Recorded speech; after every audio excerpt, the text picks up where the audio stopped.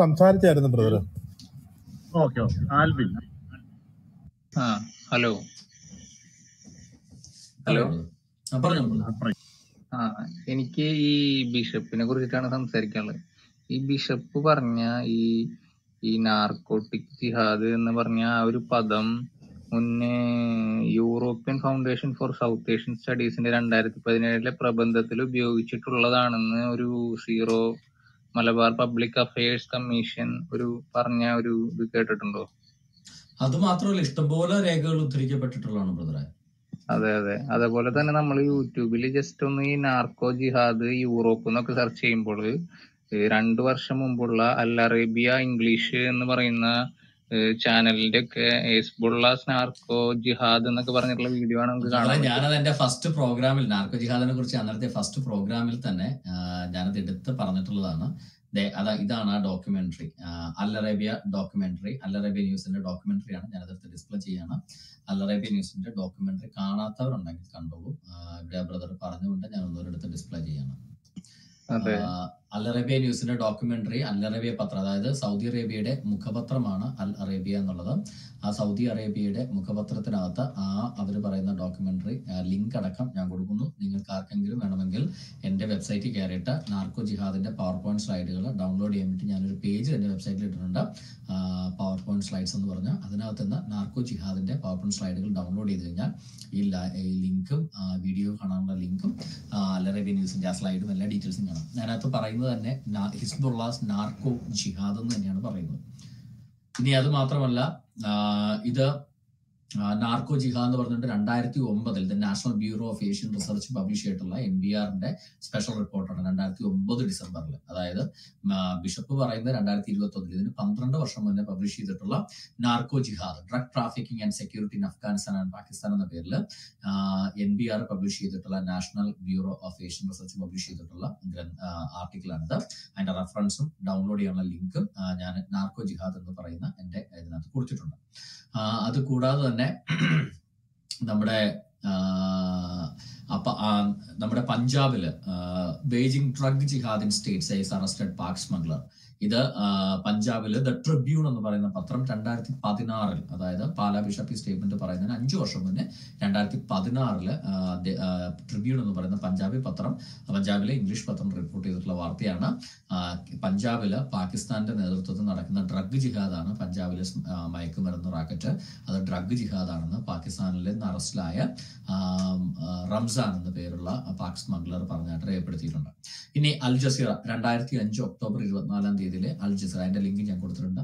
അൽ Jazeera പത്രത്തിനകത്ത് വന്ന വാർത്തയിൽ അമേരിക്കയിൽ അറസ്റ്റിലായ മുഹമ്മദ് എന്ന പേരുള്ള ഒരു ജിഹാദി ഭീകരനെ കുറിച്ച് അൽ ജസീറ റിപ്പോർട്ട് ചെയ്യുന്നു. ആ മുഹമ്മദ് എന്ന് പറയുന്ന ഭീകരൻ അറസ്റ്റ് ചെയ്യാനുണ്ടായ കാര്യം അദ്ദേഹം തന്റെ അനുയായികളെ പഠിപ്പിച്ചത് നിങ്ങൾ മയക്കുമരുന്ന് വിൽക്കുക ഹെറോയിൻ വിൽക്കുക അമേരിക്കക്കാർക്ക്. അത് ജിഹാദാണ്. ഇറ്റ്സ് ആൻ ആക്ട് ഓഫ് ജിഹാദ് എന്ന് അദ്ദേഹം പറഞ്ഞതായിട്ട് അൽ ജസീറ റിപ്പോർട്ട് ചെയ്തിരിക്കുന്നത് മയക്കുമരുന്ന് വിൽക്കുന്നത് ഒരു ജിഹാദിന്റെ പ്രവൃത്തിയാണ്. ജിഹാദാണ് എന്ന് പറഞ്ഞതായിട്ട് റിപ്പോർട്ട് ചെയ്തിരിക്കുന്നു. ഇങ്ങനെ ഡ്രഗ് ജിഹാദ് എന്ന് പറയുന്നത് it's a well known world known thing ഈ അഫ്ഗാനിസ്ഥാനിലാണ് ഏറ്റവും കൂടുതൽ മയക്കുമരുന്ന് ഉണ്ടാക്കുന്നതെന്ന് U N world drug report രണ്ടായിരത്തി ഇരുപത്തി ഒന്നിന്റെ booklet മണ്ണിനകത്ത് dispensing drug problem in Afghanistan risk and exacerbating regional threat എന്ന പേരിൽ പബ്ലിഷ് ചെയ്തിരിക്കുന്ന യുണൈറ്റഡ് നേഷൻസിന്റെ വേൾഡ് ഡ്രഗ് റിപ്പോർട്ടിനകത്ത് പറയുന്നുണ്ട്. അഫ്ഗാനിസ്ഥാൻ റിപ്പോർട്ടിൽ thirty percent increase in the amount of land used for illicit cultivation of opium poppy during two thousand twenty compared to the previous year അപ്പൊ രണ്ടായിരത്തി ഇരുപത്തി ഒന്നിൽ ഇവർ അധികാരം പിടിച്ചതിന് ശേഷം ഇത് എത്ര ഇരട്ടിയായിരിക്കും എന്നുള്ളത് ഇപ്പൊ തന്നെ ലോകത്തിന്റെ ഉണ്ടാക്കുന്ന ഓപ്പിയം പ്രൊഡക്ഷന്റെ എൺപത്തി അഞ്ച് ശതമാനം ഉണ്ടാക്കുന്നത് അഫ്ഗാനിസ്ഥാനിൽ നിന്നാണ്. എൺപത്തി അഫ്ഗാനിസ്ഥാനിലാണ്.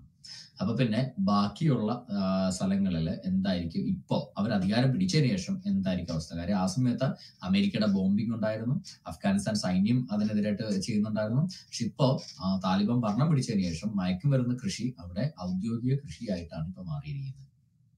ഇതാണ് അവസ്ഥ. ഓക്കെ ഇത്രയും രേഖകളുടെ അടിസ്ഥാനത്തിൽ നാർക്കോ ജിഹാദ് എന്ന് പറയുന്നത് വർഷങ്ങളായിട്ട് ലോകത്തെ കാർന്ന് തിന്നുന്ന ഒരു ഇസ്ലാമിക ജിഹാദി ഭീകരതയാണ്. ഇവരെ നാർക്കോട്ടിക് ഹറാം എന്ന് പറയുന്നത് തെറ്റാണ്. അവരുടെ ഗ്രന്ഥങ്ങളിനകത്ത് അങ്ങനെയില്ല. ദ്രവരൂപത്തിലുള്ള സാധനങ്ങളാണ് ഈ ഹറാം ഹറാം എന്ന് പറയുന്നത്. നാർക്ക് മയക്കുമരുന്ന് കഴിച്ചാൽ അതായത് ഒരാൾ ഒരു മുസ്ലിം പുരുഷൻ മദ്യപിച്ചാൽ അവൻ അടിശിക്ഷ കൊടുക്കണമെന്നാണ് ഇസ്ലാമിക കർമ്മശാസ്ത്ര ഗ്രന്ഥങ്ങൾ പറയുന്നത്. അവൻ ഒരു ഹെറോയിൻ ആ പൊടിയാണ് കഴിക്കുന്നതെങ്കിൽ അല്ലെങ്കിൽ ഒരു ഗുളികയാണ് കാപ്റ്റൻ ഒരു മയക്കുമരുന്ന് ഗുളികയാണ് കഴിക്കുന്നതെങ്കിൽ ഒരു സ്റ്റാമ്പാണ് വെക്കുന്നതെങ്കിൽ അവന് ശിക്ഷയില്ല.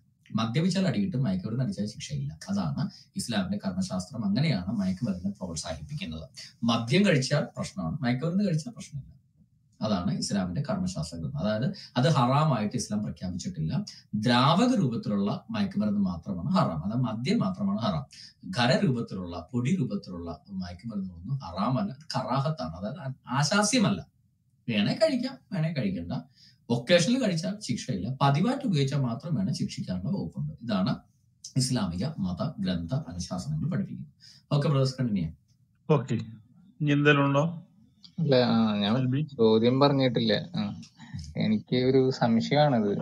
ഇപ്പൊ പല മുസ്ലിം സഹോദരന്മാരും ഇവിടെ വന്നിട്ട് സംസാരിക്കുന്നത് കേട്ടു. ബിഷപ്പ് എല്ലാ മുസ്ലിമുകളെയും കുറിച്ചിട്ടാണ് പറഞ്ഞത്. എല്ലാ മുസ്ലിമും മുസ്ലിമുകളും ഏഹ്, മുസ്ലിംസ് തീവ്രവാദികളാണ് എന്നൊക്കെ പറഞ്ഞ് പറഞ്ഞ് അങ്ങനെയാണ് ഇവർ പറഞ്ഞു വരുത്തുന്നത്. അത് മാധ്യമങ്ങളാണോ? അതോ ഇനി ഈ ഇവരുടെ ഇടയിൽ തന്നെ അങ്ങനെയുള്ള ആൾക്കാരുണ്ടോ എന്ന് അറിയില്ല അപ്പോൾ ഇതിന്റെ പിന്നിലുള്ള ഒരു ലക്ഷ്യം എന്താണ്? ഇത് തീവ്രവാദത്തിലേക്ക് കൂടുതൽ ആൾക്കാരെ ആകൃഷ്ടരാക്കാനാണോ? അതോ എല്ലാ മുസ്ലിമുകളെയും തീവ്രവാദികളായിട്ടാണ് ലോകം മുദ്ര കുത്തുന്നത്? അങ്ങനെയാണോ അവർ പറഞ്ഞ് ഇതിന്റെ ഒരു ടാക്ടിക്സ് എന്താണ്?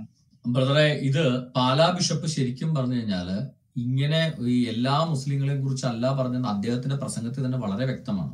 എന്നാൽ ഇവിടെ ചർച്ചയ്ക്ക് വരുന്ന മുസ്ലിങ്ങൾ എല്ലാവരും ഒരേ സ്വരത്തിൽ പറയുന്നു മുസ്ലിങ്ങളെ എല്ലാം അപമാനിച്ചു. എ പി അബുബക്കർ മുസ്ലിയാർ പറയുന്ന മുസ്ലിങ്ങളെ എല്ലാം അപമാനിച്ചു. അതായത് എല്ലാ മുസ്ലിം ലോകത്തിനും ഇൻഫർമേഷൻ കിട്ടുന്നത് പാലാ ബിഷപ്പിന്റെ പ്രസംഗത്തിൽ നിന്നല്ല. ഇവർക്ക് വ്യാജമായിട്ട് വർഗീയ ഉണ്ടാക്കാൻ വേണ്ടി മുസ്ലിങ്ങളുടെ ഇടയിൽ തന്നെ ഭീകര സംഘടനകൾ പ്രവർത്തിക്കുന്നുണ്ടെന്നുള്ളതിന്റെ ഏറ്റവും പ്രകടമായ ലക്ഷണമാണ് ഇവിടെ വരുന്ന മുസ്ലിങ്ങളും പത്രങ്ങളിൽ പ്രസ്താവന നടത്തുന്ന മുസ്ലിങ്ങളും എല്ലാവരും ഒരേ സ്വരത്തിൽ പറയുന്നു മുസ്ലിം സമുദായത്തെ പാലാ ബിഷപ്പ് അധിക്ഷേപിച്ചു എന്ന്. അപ്പോ ഇവർക്ക് ഇൻഫർമേഷൻ കിട്ടുന്നത് പാലാ ബിഷപ്പിന്റെ പ്രസംഗം കേട്ടിട്ടല്ല. ഇവരിത് പറയുന്നത് ഇവരെ പറഞ്ഞ് ഇവരെ പഠിപ്പിക്കുന്ന പച്ചയായ ഭീകര പ്രസ്ഥാനങ്ങൾ എ പി അബൂബക്കർ മുസ്ലിയാർ മുതൽ താഴേക്കുള്ള ഇവിടെ വന്ന ഖാലിദ് വരെയുള്ള എല്ലാ മുസ്ലിങ്ങളെയും നിയന്ത്രിക്കുന്ന തരത്തിൽ അതായത് യഥാർത്ഥ ഇൻഫർമേഷൻ അല്ല ഇവർ പാസ് ചെയ്യുന്നത് ഇവരിലേക്ക് പാസ് ചെയ്യപ്പെടുന്നത്. ഇവരെ ട്രസ്റ്റ് ചെയ്യുന്നത് പാലാ ബിഷപ്പിന്റെ പ്രസംഗം എന്താണെന്ന് പാലാ ബിഷപ്പിന്റെ പ്രസംഗത്തിന്റെ വീഡിയോ അല്ല ഇവർ ട്രസ്റ്റ് ചെയ്യുന്നത്. മുസ്ലിം ഭീകര സംഘടനകൾ ഇവർക്ക് കൊടുക്കുന്ന ഉപദേശമാണ് ഇവർ ട്രസ്റ്റ് ചെയ്യുന്നത്. അപ്പോൾ ഇവിടെ നമ്മൾ മനസ്സിലാക്കേണ്ട ഒരു കാര്യം കേരളത്തിൽ പബ്ലിക്കായിട്ട് പാലാ ബിഷപ്പ് പറഞ്ഞൊരു കാര്യം. മുസ്ലിങ്ങളിലെ ചുരുക്കം ചില സംഘടനകൾ മാത്രമാണ് പ്രശ്നക്കാരെന്ന് പറഞ്ഞ കാര്യത്തെ. മുസ്ലിങ്ങൾ മുഴുവനാണ് പ്രശ്നക്കാരെന്നുള്ള മുസ്ലിം ഭീകര സംഘടനകൾ കൊടുത്ത മെസ്സേജാണ് ഇസ്ലാം സമൂഹത്തിലേക്ക് എത്തിയിരിക്കുന്നത്. അതായത് പാലാ ബിഷപ്പിന്റെ പ്രസംഗമല്ല ഇസ്ലാം സമൂഹത്തിലേക്ക് എത്തിയത്. മുസ്ലിം ഭീകരര് വർഗീയലകൾ ഉണ്ടാക്കാൻ വേണ്ടി ഇസ്ലാമിക ഭീകരരെ പടച്ചുവിട്ട വ്യാജ കഥയാണ് മുസ്ലിങ്ങളുടെ ചെവിയിൽ എത്തിയിരിക്കുന്നത് അപ്പൊ ഒരു കാര്യം ഓർക്കുക. മുസ്ലിങ്ങളെ ഇന്ന് നിയന്ത്രിക്കുന്ന ഭീകരന്മാരാണ് മുസ്ലിങ്ങൾ സ്വതന്ത്രമായിട്ട് ചിന്തിക്കുന്നവരാണെന്നെങ്കിൽ അവർ പാലാ ബിഷപ്പിന്റെ ഇത് കേട്ടു നോക്കും. പാലാ ബിഷപ്പ് അങ്ങനെ പറഞ്ഞിട്ടില്ല. അപ്പൊ പിന്നെ ഇതൊരു വിവാദം പോലും ഇവിടെ ഉണ്ടാവില്ലായിരുന്നു. മുസ്ലിം മത നേതാക്കന്മാരെ നിയന്ത്രിക്കുന്നത് അവരുടെ അവരുടെ അവർ പാലാ ബിഷപ്പിന്റെ പ്രസംഗം കേട്ടു നോക്കും. അവർ കേട്ടു നോക്കുമ്പോൾ അതിനകത്ത് മുസ്ലിങ്ങളിലെ ചുരുക്കം ചില സംഘടനകളാണ് കുറിച്ചാണ് പറഞ്ഞിരിക്കുന്നത് അപ്പോഴും അവിടെ വിവാദം ഉണ്ടാവില്ല. അപ്പൊ ഇവരെ നിയന്ത്രിക്കുന്നത് സ്വതന്ത്ര ചിന്താഗതിയല്ല സ്വതന്ത്രമായ അവരുടെ വ്യക്തി സ്വാതന്ത്ര്യത്തിനകത്ത് നിന്നുകൊണ്ട് അവരെടുക്കുന്ന തീരുമാനങ്ങളല്ല. ഇവിടെ വളരെ പ്ലാൻഡ് ആയിട്ട് ഇവരെ എല്ലാം പാവ കളിപ്പിക്കുന്ന ഒരു നികൃഷ്ട ഇസ്ലാമിക ഭീകര ശക്തി കേരളത്തിൽ ഉടലെടുത്തിട്ടുണ്ടെന്നും അത് വേറുറച്ചിട്ടുണ്ടെന്നുള്ളതിന്റെ ഏറ്റവും വലിയ ഒരു ലക്ഷണമാണ് ഇന്ന് നമ്മൾ കണ്ടത്. ഇപ്പൊ നമ്മൾ കണ്ടുകൊണ്ടിരിക്കുന്നത്. ഈ മത നേതാക്കന്മാരെ പോലും വ്യക്തമായിട്ട് അവർ പോലും ആശ്രയിക്കുന്നത് അവർ പോലും പ്രവർത്തിക്കുന്നത് ഇത്തരം ഭീകര സംഘടനകളുടെ ഉപദേശം അനുസരിച്ചിട്ടാണെന്നുള്ളതിന്റെ വ്യക്തമായ തെളിവാണ് ഈ പാലാ ബിഷപ്പിന്റെ പ്രസ്താവന കൊണ്ട് കേരളത്തിൽ നമുക്ക് കാണാൻ കഴിഞ്ഞത്. അപ്പൊ ഇവിടെ ഇൻവെസ്റ്റിഗേഷൻ വേണ്ടത് പാലാ ബിഷപ്പിനെതിരെ ഈ മുസ്ലിങ്ങൾ മുഴുവനും ആരെ ചെയ്യുന്നത് ആ ബഹു ആ ഭീകര സംഘടനക്കെതിരെയാണ്. മുസ്ലിങ്ങളുടെ ഇടയിൽ വ്യാപകമായി തെറ്റായ ഇൻഫർമേഷൻ പാസ് ചെയ്ത ആ ഭീകര സംഘടനക്കെതിരെയാണ് ഇവിടെ അന്വേഷണം ഓക്കെ ബ്രദേഴ്സ് നമ്മുടെ hand writing hand rising of ആണല്ലോ അല്ലെ? ഹലോ ഒരു കാര്യം കൂടി പറയട്ടെ. ഞാൻ ചർച്ചയുടെ തുടക്കം തൊട്ടിട്ട് തന്നെ ഉണ്ടായിരുന്നു. വളരെ നല്ല ചർച്ചയാണ്. അപ്പോ thank you Vicky. Hello Vicky. Brother Vicky. നന്ദി നന്ദി ബ്രദറെ കേൾക്കാമോ? കേൾക്കാം ബ്രദർ പറഞ്ഞു ആ, ഈ- അടുത്ത കാലത്ത് നർക്കോട്ടിക് ജിഹാദ് ലവ് ജിഹാദ് ഇല്ല എന്ന് പറയുന്ന കുറെ സഹോദരങ്ങളെ കണ്ടു. നമ്മൾ രാത്രി ജോലി സമയത്തും സമയം കണ്ടെത്തിയിട്ട് ഒരുപാട് വൈകിട്ടും ക്ലബ് ഹൗസിൽ പറഞ്ഞ് മനസ്സിലാക്കാൻ ശ്രമിച്ചിട്ട് തെളിവ് കൊടുത്തും മണിക്കൂറുകളോളം സംസാരിച്ചിട്ടുണ്ട്. സംസാരിച്ച് ഉറങ്ങി പോയിട്ടുണ്ട്. ഈ എല്ലാ തെളിവ് കൊടുത്തു കഴിഞ്ഞാൽ അവസാനം ഒരു ചിരിയാണ് ചില ആൾക്കാരുടെ പ്രതികരണം. ബ്രദർ നേരത്തെ പ്ലേ ചെയ്ത വിദേശ മലയാളി വനിതാ ജേർണലിസ്റ്റിന്റെ വീഡിയോയിൽ മയക്കുമരുന്ന് കൊടുത്ത് പീഡിപ്പിച്ച പെൺകുട്ടി മുസ്ലിം ആണെന്ന് അറിയുമ്പോൾ ആ വനിതാ ജേർണലിസ്റ്റ് ചിരിക്കുന്നു അത് അത് ആ ചിരിയുടെ അർത്ഥം ഒന്നും മനസ്സിലായില്ല? തെളിവിനിടയിൽ തെളിവ് തപ്പുന്നതിനിടയിൽ അമ്മാവൻ ചത്താലും കുഴപ്പമില്ല. അമ്മായിയുടെ കരച്ചിൽ ഉണ്ടാവെന്ന് പറയുന്ന ശരിയാണ് ചിരിയാണ് നമ്മളവിടെ കാണുന്നത്. മുസ്ലിം പെണ്ണ് പീഡിപ്പിക്കപ്പെട്ടാലും കുഴപ്പമില്ല. അപ്പുറത്തുള്ളൂ സോറി ആ അതെ. ഈ തെളിവ് തപ്പുന്നതിനിടയില്ലേ ഈ ലവ് ഇന്റൽ ഇന്റലക്ച്വൽ ജിഹാദിൽ നിന്ന് രക്ഷപ്പെട്ട പെൺകുട്ടികൾ പറയുന്നത് ഈ എം എം അക്ബറിന്റെ ഒക്കെ തലതൊട്ടപ്പനായ സക്കീർ നായിക്കിന്റെ വീഡിയോസ് ഒക്കെ ഇവിടെ ജിഹാദികൾ നന്നായിട്ട് ഡിസ്ട്രിബ്യൂട്ട് ചെയ്യണമെന്ന് അറിയാൻ മനസ്സിലായി. ഒരു വർഷം മുന്നേ സക്കീർ നായിക്ക് പറഞ്ഞിട്ടുള്ള പല വീഡിയോസും ഉദാഹരണം പറഞ്ഞു കഴിഞ്ഞാൽ വിമർശകരുടെ ഡാറ്റാബേസ് ഉണ്ടാക്കി ആക്രമിക്കുക അതേപോലെ തന്നെ റോഹിംഗ്യൻ ബംഗ്ലാദേശിക അന്യ സംസ്ഥാന മുസ്ലിങ്ങളെ കേരളത്തിൽ കൊണ്ട് താമസിപ്പിക്കുക തുടങ്ങിയ കാര്യങ്ങളൊക്കെ എനിക്ക് കണ്ണിന്റെ മുന്നിൽ കാണാൻ പറ്റുന്നുണ്ട്. പ്രത്യേകിച്ച് നിങ്ങളെ പോലുള്ള ആൾക്കാർക്കുള്ള ത്രെട്ട് ജാമിത നിങ്ങൾ വിദേശത്താണെങ്കിൽ പോലും നിങ്ങളുടെ നിങ്ങൾക്കുള്ളത്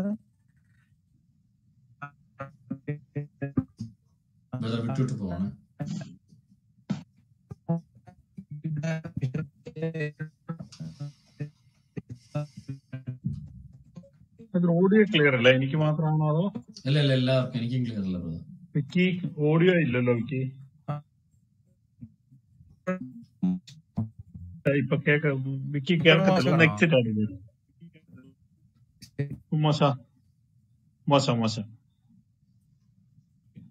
ഞാൻ അടുത്ത ആളെ വിളിക്കാം. ഒന്ന് പുറത്തുനിന്ന് ഇറങ്ങിയിട്ട് കയറുക Janjo Janjo. Hello hello Janjo. Okay. കേൾക്കുന്നുണ്ടോ? കേൾക്കാം കേൾക്കാം. ആ താങ്ക്സ് ബ്രദർ. ആ ബ്രദർ എനിക്കൊരു ചോദ്യം ചോദിക്കാനുള്ളത്. ഇപ്പൊ നമ്മൾ ഈ നമ്മുടെ ഈ മീഡിയയുടെ സപ്പോർട്ട് ഉണ്ടല്ലോ ഇങ്ങനത്തെ നാർക്കോട്ടിക് ജിഹാദ് ഇതിനൊക്കെ ഉള്ളത്. അപ്പൊ ഇതിന് നമ്മളിപ്പോ ഒരു ഫിനാൻഷ്യൽ അല്ലെങ്കിൽ പൊളിറ്റിക്കൽ ആയിട്ടുള്ള ഗെയിൻ ആയിട്ട് അവർക്ക് കിട്ടുന്നുണ്ട്. അപ്പൊ അതല്ലാതെ ഇതിന് വലിയ റിലീജിയസ് ആയിട്ടുള്ള അജണ്ട ഉണ്ടോ? അതായത് ഫ്രീ മാസൺറി അങ്ങനെ എന്തെങ്കിലും? ബ്രദറെ ഇതിനകത്ത് റിലീജിയസ് അജണ്ട ഇസ്ലാം എന്ന് പറയുന്നത് ഇറ്റ്സ് നോട്ട് റിലീജിയൻ അതൊക്കെ നമ്മുടെ തെറ്റിദ്ധാരണ മാത്രം. Islam is a political ideology അതായത് ഒരു രാഷ്ട്രസങ്കല്പമാണ് ഇസ്ലാം അല്ലാതെ ലോകം മുഴുവൻ ഇസ്ലാം മതത്തിൽ അധിഷ്ഠിതമായ ഒരു ഇസ്ലാമിക രാജ്യം. അതാണ് ഇസ്ലാം മതത്തിന്റെ ലക്ഷ്യം എന്ന് പറയുന്നത്. അതായത് ഇപ്പൊ ക്രൈസ്തവ വിശ്വാസം ഒരു റിലീജിയനാണ് ഇപ്പൊ ഇന്ത്യ മുഴുവൻ ക്രൈസ്തവരായാൽ പോലും there won't be any Christian country അതായത് ഇപ്പൊ അമേരിക്ക. അവിടെ ക്രൈസ്തവരാണ് എല്ലാം ഉള്ളത്. എന്ന് വെച്ചാൽ അതൊരു ക്രിസ്ത്യൻ കൺട്രി അല്ല. അവിടെ ഏത് മതക്കാർക്കും ഏത് രീതിയിലുള്ള ക്രൈസ്തവർക്കുള്ള എല്ലാ അഭിപ്രായ സ്വാതന്ത്ര്യവും എല്ലാ സ്വാതന്ത്ര്യവും അവർക്കും ഉണ്ട്. അവർക്ക് അമ്പലം വെക്കാനോ പള്ളി വെക്കാനോ ഒരു ഇതുമില്ല ഒരു കുഴപ്പമില്ല അവരുടെ രാജ്യത്തിന്റെ നിയമം ക്രൈസ്തവർക്ക് ബാധകമായ പോലെ മറ്റുള്ളവർക്കും ബാധകമാണെന്ന് മാത്രം. അപ്പൊ അത്തരത്തിൽ എല്ലാ മതക്കാർക്കും ഒരേപോലെ ഇതാണ് കൊടുക്കുന്നത്. അല്ലാതെ ഒരു പ്രത്യേക മതത്തിന് ഒരു പ്രത്യേകത ഒന്നും എല്ലാ ഒരു രാജ്യത്തും എന്നാൽ ഇസ്ലാമിനെ സംബന്ധിച്ചിടത്തോളം ഇസ്ലാമിന്റെ പ്രത്യേകത അവരുടെ ആശയം എന്ന് പറയുന്നത് മതത്തെക്കാൾ ഉപരി മതരാഷ്ട്രമാണ്. അതായത് പൊളിറ്റിക്കൽ ഇസ്ലാമാണ്. അല്ലാതെ ഒരു മതമായിട്ട് ഇപ്പൊ ഇന്ത്യ അതായത് ഇപ്പൊ ഉദാഹരണം പറയുകയാണെങ്കിൽ ഇപ്പൊ ഇന്ത്യ മഹാരാജ്യത്തിന്റെ ഒരു മുസ്ലിം രാഷ്ട്രം യുദ്ധത്തിന് വന്നാൽ ഇവിടുത്തെ മുസ്ലിങ്ങൾ ആ മുസ്ലിം രാഷ്ട്രത്തെ സപ്പോർട്ട് ചെയ്യൂ.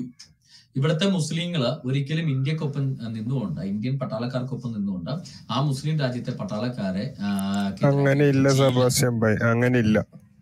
അങ്ങനെയില്ല. സെബാസ്റ്റ്യൻ ഭായ്. സ്വന്തം രാജ്യത്തിന് നിക്കണം അങ്ങനെ ഉണ്ട്. ഞാൻ കഴിഞ്ഞിട്ട് സഹോദര? താങ്കൾ ഒരു മുസ്ലിം പട്ടാളക്കാരനെ യുദ്ധത്തിൽ കൊന്നാൽ താങ്കൾക്ക് ഇസ്ലാം മതം യുദ്ധത്തിൽ കൊല്ലാൻ താങ്കൾ അനുവദിക്കുന്നുണ്ടോ? ഒരു മുസ്ലിം പട്ടാളക്കാരനെ യുദ്ധത്തിൽ കൊല്ലാൻ ഇസ്ലാം മതം താങ്കളെ അനുവദിക്കുന്നുണ്ടോ? നിങ്ങൾ നിങ്ങൾ ഒരു നിമിഷം. നിങ്ങൾ നമുക്ക് ഒറ്റ നിയമയില്ല ഇപ്പൊ സൗദി അറേബ്യ നമ്മളോട് യുദ്ധം ചെയ്യാൻ വന്നാൽ നമ്മ ഇന്ത്യന്റെ ഒക്കെ നിൽക്കുന്നത് നമ്മ ഏത് രാജ്യത്താണ് ചോദിച്ച ജീവിക്കുന്നത് ആ രാജ്യത്ത് രാജ്യത്തിന് താങ്കൾ ഇങ്ങനെ ഒച്ച എടുത്തിട്ടൊന്നും കാര്യമില്ല സമാധാനത്തിൽ സമ്മതിക്കാൻ പറയാം.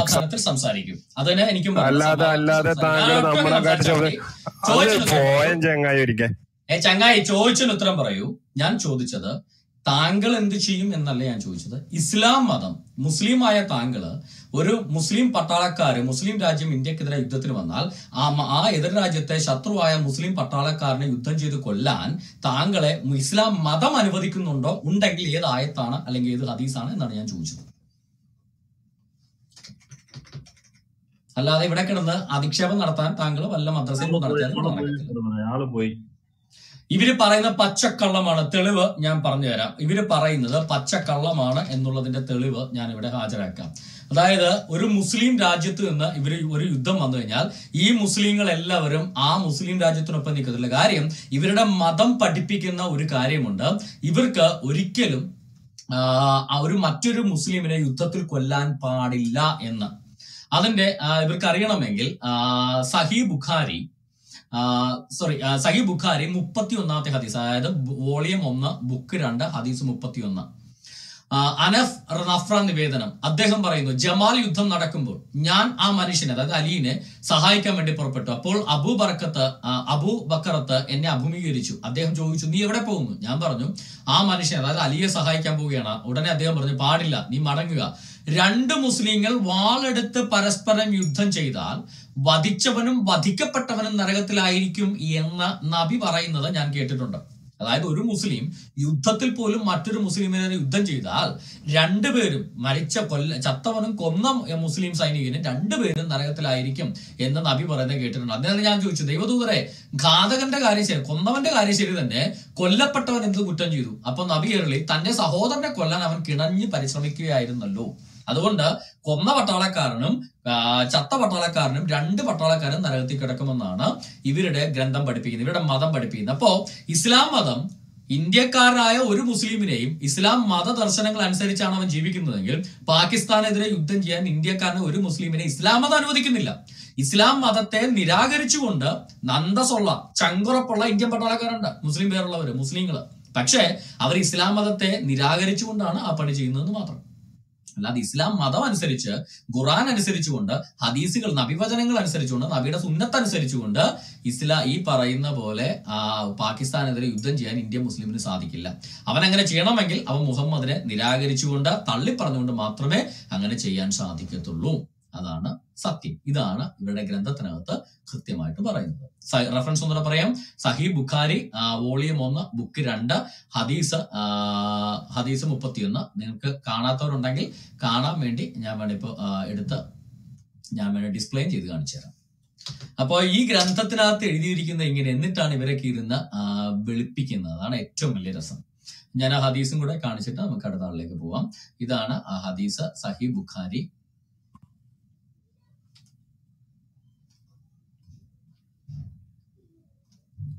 ഓക്കെ കണ്ടോളൂ. സഹി ബുഖാരി സഹി ബുഖാരിയിൽ വോളിയം രണ്ട് ഹദീസ് ഇരുപത്തി നാല് അല്ലെങ്കിൽ വോളിയം ഒന്ന് സോറി ബുക്ക് രണ്ട് ഹദീസ് ഇരുപത്തിനാല് അല്ലെങ്കിൽ വോളിയം ഒന്ന് ബുക്ക് രണ്ട് ഹദീസ് മുപ്പത്തി ഒന്ന് അല്ലെ സഹി ബുഖാരി മുപ്പത്തി ഒന്ന് ദാറുസലാം പ്രകാരം. ഓക്കെ ഇതാണ് റഫറൻസ് ഇതാണ് സാധനം.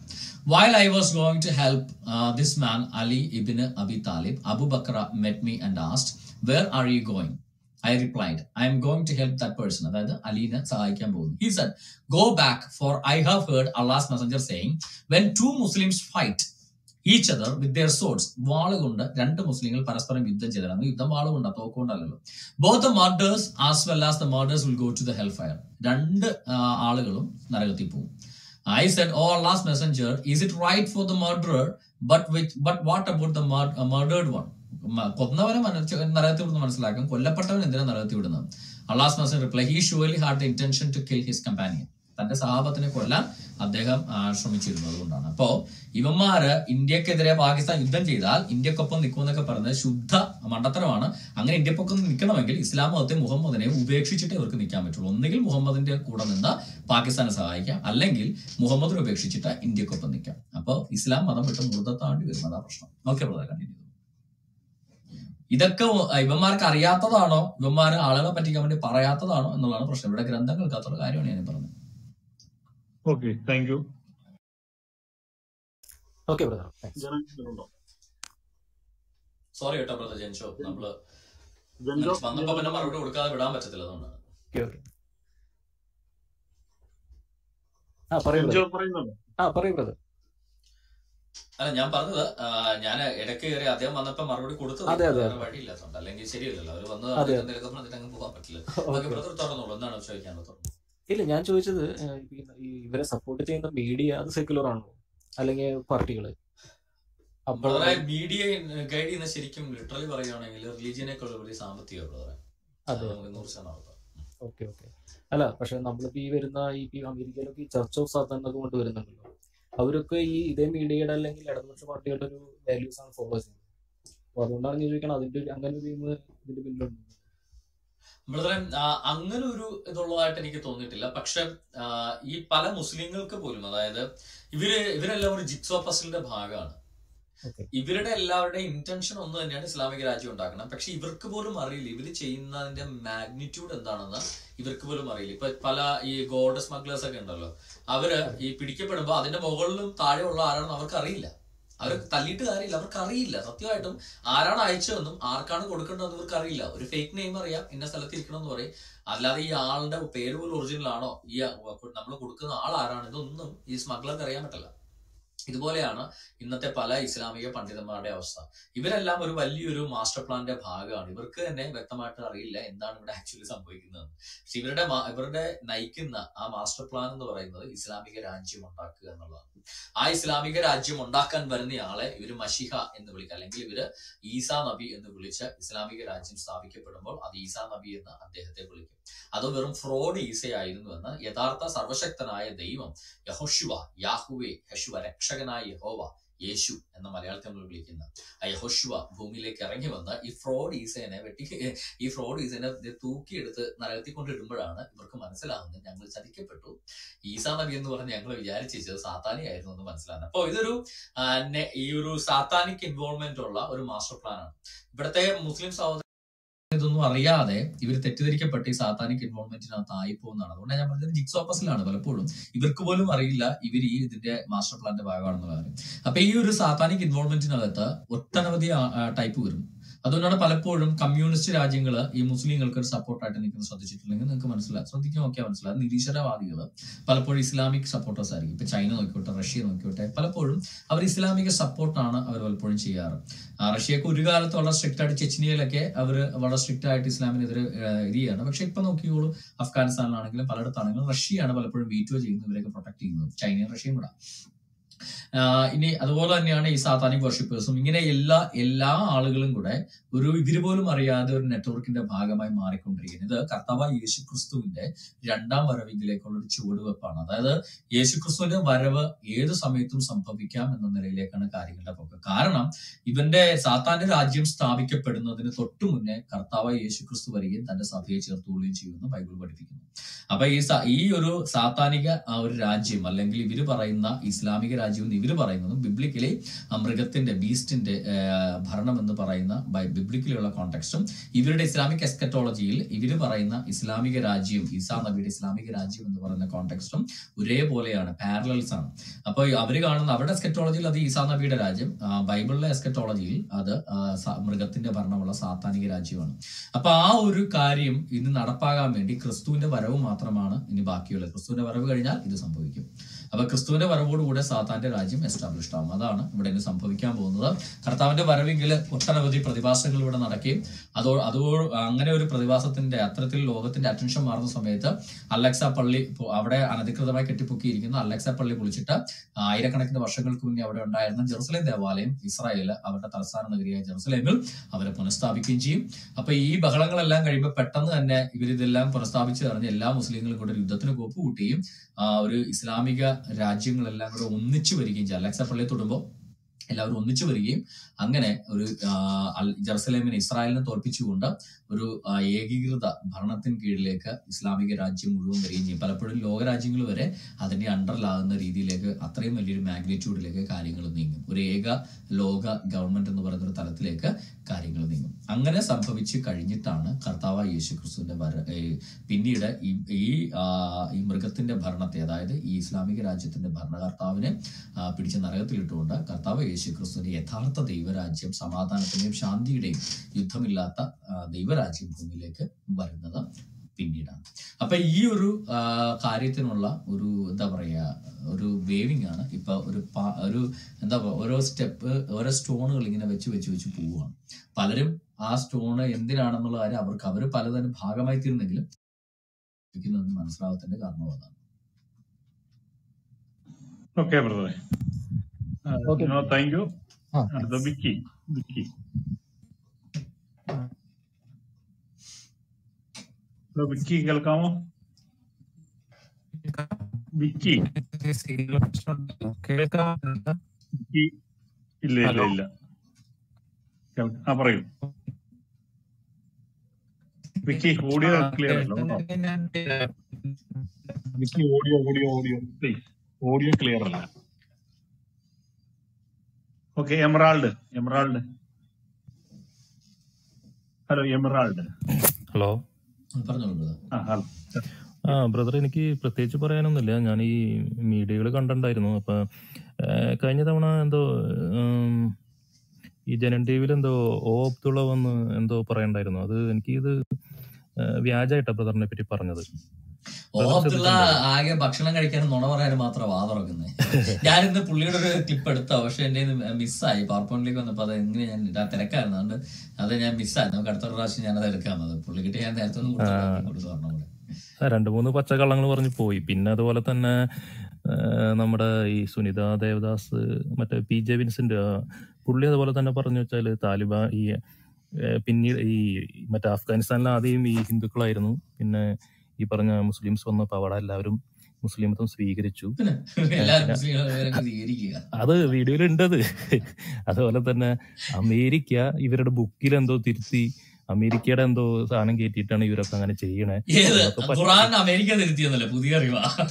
അല്ല പുതിയ ഏടുകളൊക്കെ വെച്ചു. അങ്ങനെയാണ് പുള്ളി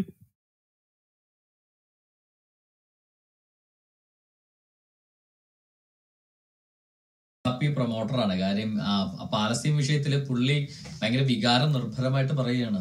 പാലസ്തീനെ പാലസ്തീനിനെ ജയിലാക്കിയാണ് ലോകത്തിലെ ഏറ്റവും വലിയൊരു ജയിലാണ് പാലസ്തീൻ. ഇസ്രായേൽ ചുറ്റിയടച്ച പാലസ്തീനെ ജയിലാക്കിയിരിക്കുകയാണ്. പക്ഷെ. പാലസ്തീന്റെ ബോർഡർ ഇസ്രായേലുമായിട്ട് മാത്രമല്ലല്ലോ പാലസ്തീന്റെ അങ്ങേ ബോർഡറിൽ കിടക്കുന്ന ഈജിപ്റ്റ് അല്ല ബ്രദർ അതൊന്ന് കാണിച്ചിട്ടുണ്ടായിരുന്നു കേട്ടോ ഒരു മാപ്പ് പോലെ കാണിച്ചിട്ട് എത്രയോ അഞ്ചിലധികം മീറ്റർ താഴേക്ക് മതിൽ കെട്ടിയേക്ക്. അഞ്ച്. മീറ്റർ താഴേക്ക്. കാര്യം ഇവന്മാരെ ടണൽ ഉണ്ടാക്കി വരുന്നതിന് ഇത് ചെയ്യാൻ വേണ്ടി അഞ്ചിലധി അഞ്ചല്ല ഇരുപത് മീറ്ററോ? രണ്ട് താഴേക്ക് ഡെപ്തിൽ മതിൽ കെട്ടിയൊക്കെയാണ് മുകളിലേക്കും താഴേക്ക്. അപ്പൊ ഇവരെ ജയിലിലാക്കിയ ആരാ? ഈജിപ്റ്റാണ്.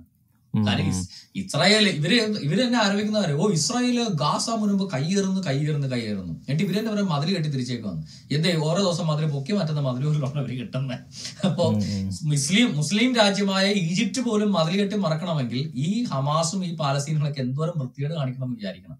അപ്പൊ പിന്നെ. ശത്രു സൗഹൃദ രാജ്യമായ ഈജിപ്തിനോട് ഉമാർ അങ്ങനെയൊക്കെ ചെയ്താൽ സുഹൃത്ത് രാ- ഉം. എതിർ ഇസ്രായേലിനെ ഉമാരെ കൊന്നു തിന്നുവല്ലോ. അപ്പൊ പിന്നെ അവർ മതിൽ കെട്ടിയിൽ വല്ലതും പറയാനുണ്ടോ? അപ്പൊ ഈജിപ്ത് മതിൽ കെട്ടി ഉമ്മാർ പറയില്ല. ഇസ്രായേൽ മതിൽ. കെട്ടി മാത്രം പറയും. ഇതാണ് ഉമ്മാറിന്റെ ടൈപ്പ് ബ്രദർ പിന്നെന്ന് വെച്ചാലേ ഇപ്പൊ ഞാൻ ഇത്രയും കാലം എന്ന് വെച്ചാൽ ഇപ്പൊ ഈ ഏഷ്യാനെറ്റായാലും മനോരമയിലും അവിടുത്തെ ഈ ഈ ചർച്ച നടത്തുന്നവരൊക്കെ നമ്മൾ ശരിക്കും പറഞ്ഞ ഒരു വളരെ ഒരു എന്താ പറയാ ആരാധനയോടെയാണ് നമ്മൾ കണ്ടിരുന്നത് പക്ഷെ ഈ അടുത്ത കാലത്താണ് ഈ നമ്മുടെ റിപ്പോർട്ടറിൽ ഉണ്ടായിരുന്ന അഭിലാഷ് എന്ന് പറഞ്ഞ ഈ ജേർണലിസ്റ്റ് പെട്ടെന്ന് നോക്കുമ്പോ മീഡിയ വണ്ണിൽ. അതായത് കുറച്ചു നേരം കഴിഞ്ഞപ്പോ പ്രമോദ് എന്ന് പറഞ്ഞ മറ്റേ മനോരമയിലെ ആ പുള്ളി അങ്ങോട്ട്. ഇതൊക്കെ കാണും ആ, ഇതൊക്കെ കാണുമ്പോ എന്താ പറയുന്നത്? ആൾക്കാർക്കൊന്നും മനസ്സിലാവില്ലെന്നാണ് അവർ വിചാരിക്കുന്നത്. അല്ല ഈ മീഡിയ വണ്ണൊക്കെ ജമാഅത്തെ ഇസ്ലാമിയുടെ പ്രധാന ചാനലുകളാണെന്നുള്ള കാര്യം ഇവർക്കറിയാം.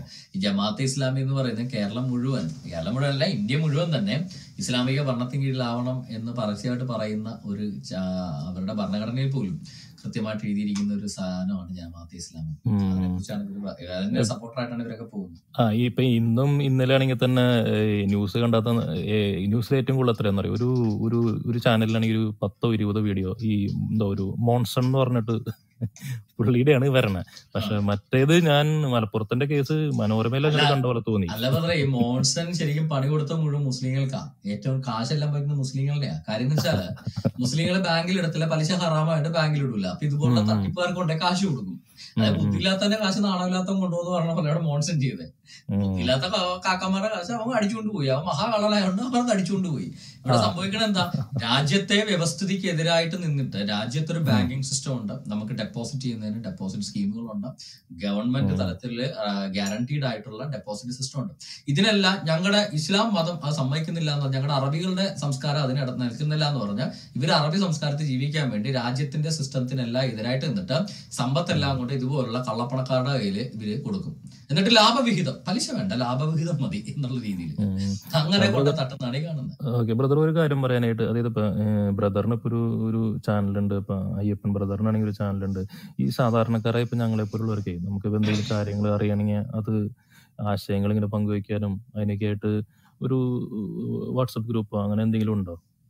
ബ്രദറെ എനിക്ക് അങ്ങനെ എനിക്കൊരു ടെലഗ്രാം ചാനലുണ്ട്. ടെലഗ്രാം ഗ്രൂപ്പ് അല്ല ചാനലാണ് ടെലഗ്രാമിന്റെ അതിനകത്ത് ഞാൻ ഈ ചെയ്യുന്ന പ്രോഗ്രാമുകളുടെ ലിങ്കുകൾ ഒരു പവർ പോയിന്റുകളെല്ലാം ഇടും പിന്നെ എനിക്കൊരു വെബ്സൈറ്റ് ഉണ്ട് സെബാസ്റ്റ്യൻ പുന്നക്കൽ ഡോട്ട് കോം എന്ന് പറഞ്ഞ്.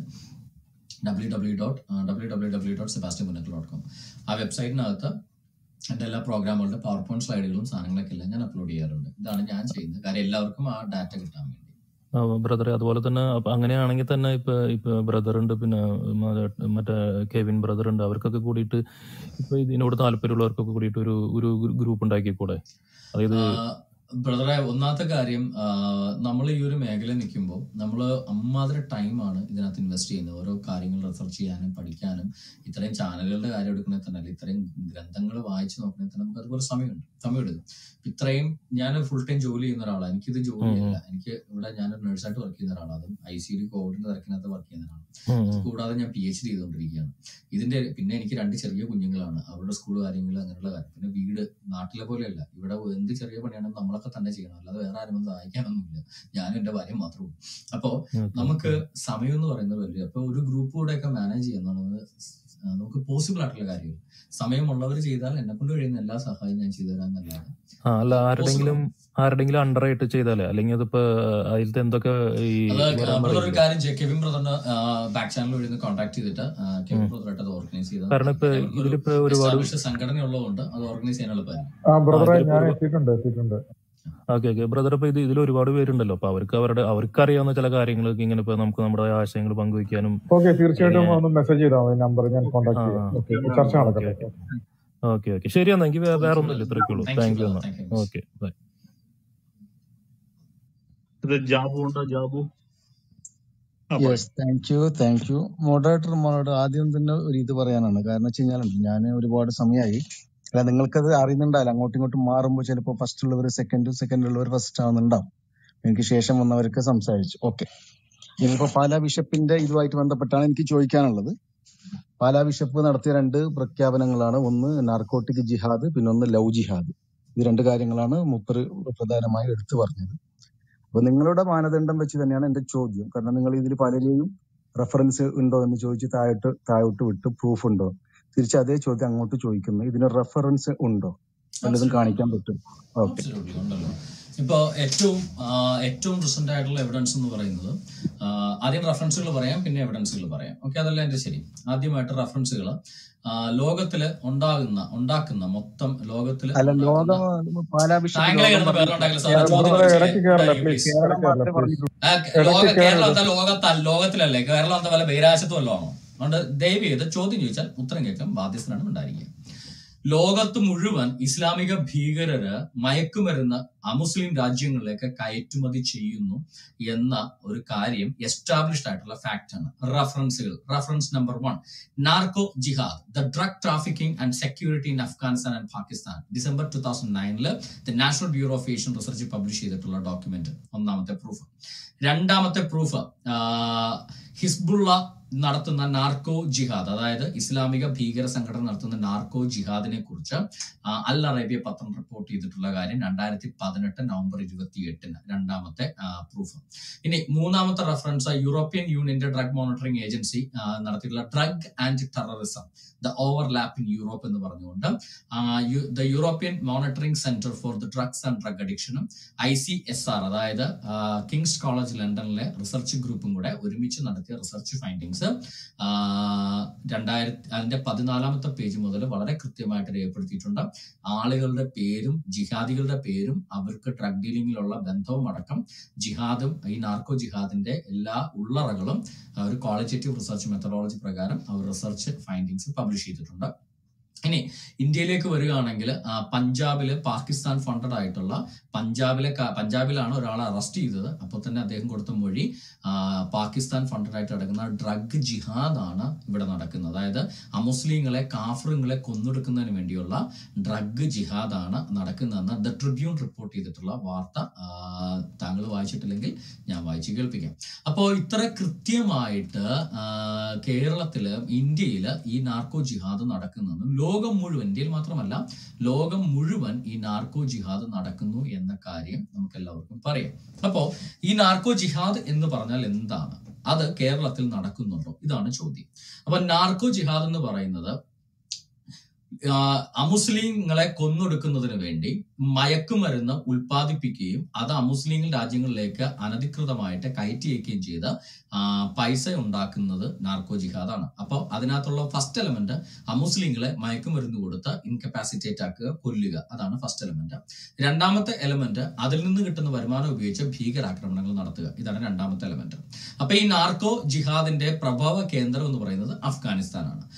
ലോകത്ത് ഉണ്ടാക്കുന്ന ഓപ്പിയം ബേസ്ഡ് ആയിട്ടുള്ള മയക്കുമരുന്നുകളുടെ എൺപത്തി അഞ്ച് ശതമാനവും രണ്ടായിരത്തി ഇരുപതിൽ പ്രൊഡ്യൂസ് ചെയ്തത് ഇസ്ലാമിക ഭീകരന്മാരാണ് അഫ്ഗാനിസ്ഥാനിൽ. അപ്പോ ആ ഇസ്ലാമിക് ഭീകരന്മാര് അഫ്ഗാനിസ്ഥാനിൽ ഉണ്ടാക്കുന്ന മയക്കുമരുന്ന് ഇന്ത്യയിലേക്ക് ഇരുപത്തി മോരാ ഇരുപത്തി മൂവായിരം കോടി രൂപയുടെ ടൺ മൂവായിരം ടണ്ണ് അതായത് മൂവായിരം ടണ്ണ് മൂന്ന് ടണ്ണ് അല്ലെ മൂവായിരം ടണ്ണ് അല്ലെ? അവന്റെ ഓർമ്മ ശരി എത്രയാണ്? മൂന്ന് ടണ്ണം മൂവായിരം ടണ്ണം എത്ര എന്തായാലും ഇരുപത്തി മൂവായിരം കോടി രൂപയുടെ മയക്കുമരുന്ന് അഫ്ഗാനിസ്ഥാനിൽ ഉൽപ്പാദിപ്പിച്ച് ഇന്ത്യയിലേക്ക് കടത്തിയത് കഴിഞ്ഞ ദിവസമാണ് പിടിച്ചത്. അപ്പോൾ ഇന്ത്യ മുഴുവൻ കേരളം ഇന്ത്യയിലാണെന്നാണ് എന്റെ വിശ്വാസം. നിങ്ങളും കേരളത്തെ കൊണ്ട് പാകിസ്ഥാനിൽ വെച്ചെങ്കിൽ എനിക്ക് എന്റെ അറിവ് കുറവാണ് ക്ഷമിക്കുക. അപ്പൊ ഇന്ത്യ എന്ന് പറയുന്ന രാജ്യത്തെ തകർക്കുന്നതിന് വേണ്ടി ഇന്ത്യ എന്നുള്ള മഹാരാജ്യത്തേക്ക് കോടാനുകോടി രൂപയുടെ മയക്കുമരുന്ന് അഫ്ഗാനിസ്ഥാനിൽ മുസ്ലിം ഭീകര സംഘടനകൾ ഉൽപ്പാദിപ്പിച്ച് ഇറാനിലെ ഭീകര സംഘടനകൾ വഴി ഇന്ത്യയിലേക്ക് കടത്തുന്നു എന്നതിന് രേഖാമൂലമായ തെളിവ് നമുക്ക് ഗുജറാത്തിൽ നിന്ന് ഇപ്പോൾ ലഭിച്ചു കഴിഞ്ഞു. അപ്പോ ഇതാണ് നാർക്കോ ജിഹാദ് എന്ന് പറയുന്നത്. ഇതിന്റെ ചെറിയ രീതികളാണ്. അതായത് ഇതിന്റെ ഇങ്ങേയറ്റത്തെ കണ്ണി അങ്ങേയറ്റത്തെ കണ്ണിയാണ് ഞാനിപ്പോ പറഞ്ഞത്. ഇനി ഇങ്ങേയറ്റത്തെ കണ്ണി എന്ന് പറഞ്ഞാൽ ഇത്തരം മയക്കുമരുന്നുകളുടെ ഏജന്റുകളായിട്ട് മുസ്ലിം യുവാക്കൾ വരികയും ആ ഭീകരന്മാരെ മുസ്ലിം യുവാക്കളെ നിയോഗിക്കുകയും മുസ്ലിം യുവാക്കൾ വഴി അന്യമതസ്ഥലെ യുവാക്കൾക്കും യുവതികൾക്കും മയക്കുമരുന്ന് ഉപയോഗിക്കാൻ കൂടുതൽ പ്രൊമോഷൻ കൊടുക്കുകയും ചെയ്യും. അതുകൊണ്ട് താലിബാൻ മയക്കുമരുന്നുകൾ ഉണ്ടാക്കുന്ന എണ്ണം അളവ് കൂടുന്തോറും കേരളത്തിലെ മയക്കുമരുന്ന് കേസിന്റെ മാഗ്നിറ്റ്യൂഡും കൂടിക്കൂടി കൂടി വന്നതായിട്ട് നമുക്ക് കാണാൻ സാധിക്കും. അപ്പൊ അതുകൊണ്ട് തന്നെ ഇന്ന് ആർ കേരളത്തിൽ പിടിക്കപ്പെടുന്ന ഭൂരിഭാഗം ആളുകളും ഭൂരിഭാഗം വെച്ച ജനസംഖ്യ ആപേക്ഷികമായിട്ട് നോക്കിയാൽ ഭൂരിഭാഗം ആളുകളും മുസ്ലിങ്ങളായതുകൊണ്ട് തന്നെ ഇത്തരത്തിലുള്ള കേസുകൾ നമുക്ക് കൂടുതലായിട്ട് കാണാൻ സാധിക്കും. അത് മാത്രമല്ല ഭൂരിഭാഗം ഹോൾസെയിലേഴ്സ് മുസ്ലിങ്ങളാണ്. ഈ മുസ്ലിം ഭീകര സംഘടനയുടെ ഭാഗമായിട്ട് ഇന്ത്യ മഹാരാജ്യത്തെ നശിപ്പിക്കാൻ വേണ്ടിയാണ് ഇത്തരത്തിലുള്ള ഡ്രഗ് ജിഹാദ് നടത്തുന്നത്. അപ്പൊ ഇത് വളരെ കൃത്യമായിട്ട് പ്രൊഡ്യൂസേഴ്സ് മയക്കുമരുന്ന് പ്രൊഡ്യൂസ് ചെയ്യുന്നത് ഭീകര സംഘടന അവർ ഇന്ത്യയിലേക്ക് കടത്തുന്നതിനും തെളിവുണ്ട്. ഇനി എന്ത് തെളിവാണ് താങ്കൾക്ക് വേണ്ടത്? ഓക്കെ ഇപ്പൊ നിങ്ങൾ അഞ്ചു മിനിറ്റ് സംസാരിച്ചു ഞാൻ ഇടപെട്ടിട്ടില്ല. തിരിച്ചു എനിക്ക് അത്ര തരുന്നില്ലെങ്കിൽ കുറച്ച് സമയം തരണം. ഇപ്പൊ നിങ്ങൾ ഇത്രയെല്ലാം മറുപടി പറഞ്ഞതിൽ പ- ഞാൻ ചോദിച്ചത് പാലാ ബിഷപ്പിന്റെ പ്രസ്താവനയായി ബന്ധപ്പെട്ടാണ്. ആഗോളതലത്തിലല്ല പാ- പാലാ ബിഷപ്പ് പറഞ്ഞത് കേരള യുവജനങ്ങൾ നേരിടുന്ന പ്രശ്നങ്ങൾ. കേരളത്തിലെ ബേക്കറിയിലും ഐസ്ക്രീം കടകളിൽ ഉള്ളതാണ് അല്ലാണ്ട് അണ്ടർ ഇന്റർനാഷണൽ ലെവലിൽ ഇറാനെ കൊണ്ടുപോയിട്ട് നടത്തുന്നതോ ആ വിഷയമല്ല. അതുകൊണ്ട് നമുക്ക് പാലാ ബിഷപ്പ് പറഞ്ഞതിനുള്ള തെളിവാണ് ചോദിച്ചത്. അതിനുള്ള തെളിവ് പറയും. പാലാ ബിഷപ്പ് പറഞ്ഞതിനുള്ള തെളിവാണ് ഇവിടെ തന്നെ കേരളത്തിൽ എത്ര കേസ് വേണം താങ്കൾക്ക്? മയക്കുമരുന്ന് ജ്യൂസിൽ മയക്കുമരുന്ന് കടത്തിയും ഈ പറയുന്ന മുസ്ലിങ്ങളെ മയക്കുമരുന്ന് കടത്തിയതിന്റെ എത്ര എവിഡൻസ് ആണ് വേണ്ടത്? ഞാൻ നമ്പർ വൺ ബൈ വൺ ആയിട്ട് ഞാൻ പറയട്ടെ കേൾക്കൂ. സമയം എടുത്തെന്ന് പറയരുത്. അതായത് സമയം കേൾക്കാൻ തയ്യാറാണല്ലോ? കേട്ടോളൂ കേരളത്തിലെ കാര്യം കേട്ടാൽ മതം. മാറ്റാൻ എം വേണ്ടി ഡി എം എ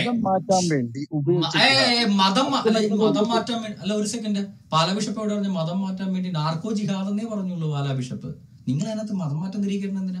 ഇതര മതസ്ഥരെ നശിപ്പിക്കുക എന്ന ഉദ്ദേശത്തോടുകൂടെ നാർക്കോ ജിഹാദ് നടത്തുന്നു എന്നാ പറഞ്ഞത് താങ്കൾ കേട്ടില്ല? കേൾപ്പിക്കണം ഒന്നുകൂടെ? ഓക്കെ അത് അതാണ് ഞാൻ പറഞ്ഞത്. ഇതര മതസ്ഥരെ ഇതര മതസ്ഥരെ നശിപ്പിക്കുക. മതം മാറ്റിയല്ലേ? ഇത് ബ്രദറെ ബ്രദറെ ബ്രദറെ പാലാ ബിഷപ്പ് പറഞ്ഞതിന് ഞാൻ തെളിവ് തരാം. താങ്കൾ പറയണതിന് ഞാൻ തെളിവ് തരേണ്ട കാര്യമില്ല. താങ്കൾ പറഞ്ഞതിന് താങ്കൾ തെളിവ് തരിക. താങ്കൾക്ക് പാലാ ബിഷപ്പ് പറഞ്ഞതിന്റെ തെളിവ് കേട്ടോളൂ പാലാ ബിഷപ്പ് എന്താണ് പറഞ്ഞതെന്ന് കേൾക്കൂ. കേരളം തീവ്രവാദികളുടെ റിക്രൂട്ടിംഗ് സെന്ററുകൾ ആകുന്നു. തീവ്രവാദികളുടെ സ്ലീപ്പിംഗ് സെല്ലുകൾ ഇവിടെ ഉണ്ട് എന്ന്. വേറാരുമല്ല അതിന്റെ മുഴുവൻ ചുമതല നോക്കേണ്ട തലപ്പത്തുള്ളയാര് പറഞ്ഞ കാര്യമാണ്. ലോകത്തിലെ നീതിയും സമാധാനവും ഇസ്ലാം മതവും സ്ഥാപിക്കാൻ യുദ്ധവും സമരവും ഒക്കെ ചെയ്യണമെന്ന തീവ്രവാദമാണ് ചുരുക്കം ചില മുസ്ലിം ഗ്രൂപ്പുകൾ ഉയർത്തുന്നത്. നമുക്ക് വർഗീയതയും വിദ്വേഷവും വെറുപ്പും മതസ്പർദ്ധയും അസഹിഷ്ണുതയും വളർത്താൻ ശ്രമിക്കുന്ന ജിഹാദി തീവ്രവാദികൾ ലോകമെമ്പാടുമുണ്ട് ഈ കൊച്ചു കേരളത്തിലുമുണ്ട് ഓക്കെ ഇനി അദ്ദേഹം പറഞ്ഞതിന്റെ ബാക്കി കുറച്ചുകൂടെ കേൾപ്പിക്കാം സെക്കൻഡ് ഞാൻ ആ സ്റ്റേറ്റ്മെന്റ് ഫുള്ള് കേൾപ്പിക്കാം. അദ്ദേഹം പറഞ്ഞത് കുറച്ചുകൂടെ കണ്ടിന്യൂ കേൾക്കാം. എട്ട് നോമ്പിന്റെ ചരിത്രം തന്നെയും മുൻ ഡി ജി പി മെമ്പാടുമുണ്ട് കൊച്ചു കേരളത്തിലുമുണ്ട് ഇതിന്റെ കാര്യമാണല്ലോ ഞാൻ മുകളിൽ പറഞ്ഞത്. നമ്മുടെ ജനാധിപത്യ രാജ്യത്ത് ആയുധമെടുത്ത് മറ്റു മതസ്ഥരെ നശിപ്പിക്കുക എളുപ്പമല്ല എന്ന് തിരിച്ചറിഞ്ഞ നമ്മുടെ ജനാധിപത്യ രാജ്യത്തെ കാര്യമാണ്. അല്ലാതെ കേരള സംസ്ഥാനത്തെ കാര്യം മാത്രമൊന്നുമല്ല അദ്ദേഹം പറഞ്ഞു ജിഹാദികൾ ആരും എളുപ്പത്തിൽ തിരിച്ചറിയാത്ത മറ്റു മാർഗങ്ങളാണ് ഉപയോഗിക്കുന്നത്. ജിഹാദികളുടെ കാഴ്ചപ്പാടിൽ ആ മുസ്ലിങ്ങൾ മുസ്ലിങ്ങളല്ലാത്തവര് നശിപ്പിക്കപ്പെടേണ്ടവരാണ്. ലക്ഷ്യം മതവ്യാപനവും ആ മുസ്ലിങ്ങളുടെ നാശവുമാകുമ്പോൾ അമുസ്ലിങ്ങളുടെ മതം മാറ്റത്തെ കുറിച്ചല്ല മതവ്യാപനവും അമുസ്ലിങ്ങളുടെ നാശവുമാകുമ്പോൾ. അതിന് സ്വീകരിക്കുന്ന മാർഗങ്ങൾക്ക് പല രൂപങ്ങളും ഉണ്ടാകുന്നുണ്ട്. അത്തരം രണ്ട് മാർഗങ്ങളാണ് ഇന്ന് വ്യാപകമായി ചർച്ച ചെയ്യപ്പെടുന്ന ലവ് ജിഹാദും അല്ലാതെ ഏതെങ്കിലും ഒരു മുസ്ലിം ഒരു ക്രിസ്ത്യൻ പെൺകുട്ടിയെ കല്യാണം കഴിച്ച് അന്തസ്സായിട്ട് ജീവിക്കുന്നതിന് ആരും ലവ് ജിഹാദ് എന്ന് വിളിക്കാറില്ല സഹോദര ഞങ്ങളുടെ പെൺകുട്ടികളെ നിങ്ങൾ വിവാഹം കഴിച്ച് നശിപ്പിക്കുന്നതിനെയാണ് ലവ് ജിഹാദ് എന്ന് വിളിക്കുന്നത് ഓക്കെ അല്ലാതെ അതിന് തെളിവ് പറയൂ അതിന് തെളിവ് Sonia Sebastian Sonia Sonia Sebastian എന്ന ക്രിസ്ത്യൻ പെൺകുട്ടി ആയിഷ എന്ന പേരുകാരിയായിട്ട് നിങ്ങൾ മതം മാറ്റി എം എം അക്ബറിനെ പോലുള്ള സത്യസരണിയിൽ പോയി മതം മാറി. എം എം അക്ബറിനെ പോലുള്ള സംഘടനകൾ നിച്ച് ഓഫ് ട്രൂത്ത് സോണിയ സെബാസിനെ കൊണ്ട് സാക്ഷ്യം പറയിപ്പിക്കുന്ന വീഡിയോ വരെ എന്റെ ഉണ്ട് വേണോ? കേൾപ്പിക്കാം ആ പെൺകുട്ടി ഇപ്പൊ എവിടെയുണ്ട്? ആ സോണിയ നശിപ്പിച്ചോ ഇല്ലയോ? ഒരുപാട് പേര് മതം മാറിയിന്. അപ്പൊ ഞാൻ ഒന്ന് ചോദിക്കട്ടെ അതിൽ എവിടെ ലവ് ജിഹാദ്? അത് ചോദിച്ചതിന് ഉത്തരം പറയൂ സഹോദര. ആ സോണിയ സെബാസ്റ്റിൻ എന്ന് പറയുന്ന പെൺകുട്ടിയെ പ്രണയത്തിൽപ്പെടുത്തി മതം മാറ്റി നിങ്ങൾ ആ പെൺകുട്ടിയെ നശിപ്പിച്ചോ ജീവിപ്പിക്കുന്നു. ഇപ്പൊ ആ പെൺകുട്ടി എവിടെയുണ്ട്? ആരാണ് ആരാണ് സോണിയ സെബാസ്റ്റ്യൻ ആരാണ് മതം മാറ്റി അതൊന്ന് പറഞ്ഞു. ആരാണ് മതം മാറ്റിയത് ഇപ്പൊ ഞാൻ കാണിച്ചുതരാം സോണിയ സെബാസ്റ്റ്യൻ മതം മാറ്റിയ ആരാണെന്ന് ഞാനിപ്പോ കാണിച്ചു തരാം. ആ, ഇനി കണ്ടില്ലെന്ന് പറയരുത്. സോണിയ സെബാസ്റ്റിനെ മതം മാറ്റിയ ഭീകരനെ ഞാൻ കാണിച്ചു തരാം. ആ, ഒരു സെക്കൻഡ് സോണിയ സെബാസ്റ്റിനെ മതം മാറ്റി ഐസിസ് ബ്രൈറ്റ്സ് എന്ന് പറഞ്ഞിട്ട് ഒരു പ്രോഗ്രാം തന്നെ ചെയ്തിട്ടുണ്ട്. അതിനകത്ത് ആ വീഡിയോ ഉണ്ട്. ആ വീഡിയോ ഞാൻ കാണിച്ചു തരാം. സോണിയ അത് സെബാസ്റ്റ്യൻ ഫുള്ള് ഫുള്ള് വേണ്ട സഹോദര. അല്ല താങ്കളെ താങ്കളെ അപ്പൊ പിന്നെ താങ്കൾ ഉടായ്പ ചോദ്യമല്ലേ ചോദിച്ചേ? ഉടായ്പ ചോദ്യമല്ലേ മുമ്പാണോ ചോദിച്ചത്? പിൻപാണോ വിവാഹത്തിന് മതം മാറ്റി വിവാഹം കഴിച്ച് മതം മാറ്റത്തിനെ സപ്പോർട്ട് ചെയ്യാൻ വേണ്ടി വിവാഹം കഴിച്ച് കഴിപ്പിച്ച് ആ പെൺകുട്ടിയെ നിങ്ങൾ ലവ് ജിഹാദ് നടത്തി കൊണ്ടുപോയത് എങ്ങോട്ടാണെന്നാ ചോദിച്ചത്? എങ്ങോട്ടാ കൊണ്ട് ഇപ്പൊ ആ പെൺകുട്ടി എവിടെ ഉണ്ട് അതിൽ ഒരു രണ്ട് പെൺകുട്ടികളിൽ ഒന്ന് ക്രിസ്ത്യാനി രണ്ടിന്റെ അല്ല ഞാൻ സോണിയ സെബാസ്റ്റിൻ സെബാസ്റ്റ്യൻ എന്ന ആയിഷയുടെ കാര്യം ചോദിച്ചത്. Ayesha hello hello. ഞാൻ ചോദിച്ചത് ഞാൻ ചോദിച്ചത് ആയിഷ ഞാൻ ചോദിച്ച സോണിയ സെബാസ്റ്റ്യൻ എന്ന ആയിഷയുടെ കാര്യമാണ്. ആ ആയിഷ നിങ്ങൾ മതം മാറ്റി കല്യാണം കഴിപ്പിച്ച് ലൗചിക നടത്തി കൊണ്ടുപോയത് എങ്ങോട്ടാണ്? ആ പെൺകുട്ടിയുടെ ഇപ്പോഴത്തെ അവസ്ഥ എന്താണ്? അതിന് കല്യാണം കഴിച്ചത് ഒരു ക്രിസ്ത്യാനിയാണ്. അല്ല അബ്ദുൾ റഷീദ് എന്ന ക്രിസ്ത്യാനി അബ്ദുൾ റഷീദ് എന്ന ക്രിസ്ത്യാനിയായേ? ഹലോ അബ്ദുൾ റഷീദ് എന്ന ക്രിസ്ത്യാനിയായത്? മുഹമ്മദ് നമ്മുടെ എം എം അക്ബറിന്റെ പീസ് സ്കൂളിലെ ടീച്ചേഴ്സ് ട്രെയിനി ആയിരുന്ന അബ്ദുൾ റഷീദ് എന്ന ഐസിസ് റിക്രൂട്ടർ ജന്മന മുസ്ലിമാണ്. അവൻ എന്നാണ് ക്രിസ്ത്യാനിയായത്? നോണ പറയുന്നു ജാബു? അതിൽ ഒന്ന് ഹാദിയ. ഓക്കെ അത് ഹാദിയുടെ കാര്യമൊന്നും അല്ലല്ലോ. ഇവിടെ സോണിയ സെബാസ്റ്റിന്റെ കാര്യം പറയുമ്പോ ഹാദിയയിലെ ഓർഡർ എന്തിനാണ്? സോണിയ സെബാസ്റ്റിനെ കല്യാണം കഴിച്ച ആരാണ്? ആയിഷ എന്ന പേര് മാറ്റി കല്യാണം കഴിപ്പിച്ചത് ഈ ലൗജി ജിഹാദികളെ കല്യാണം കഴിപ്പിച്ചത് അബ്ദുൾ റഷീദ് എന്ന ഭീകരനാണ്. ആ അബ്ദുൾ റഷീദ് ഈ ആയിഷയെ കല്യാണം കഴിപ്പിച്ചിട്ട് ആ പെൺകുട്ടിയുടെ അവസ്ഥ എന്താണെന്നറിയോ നിങ്ങൾക്ക്?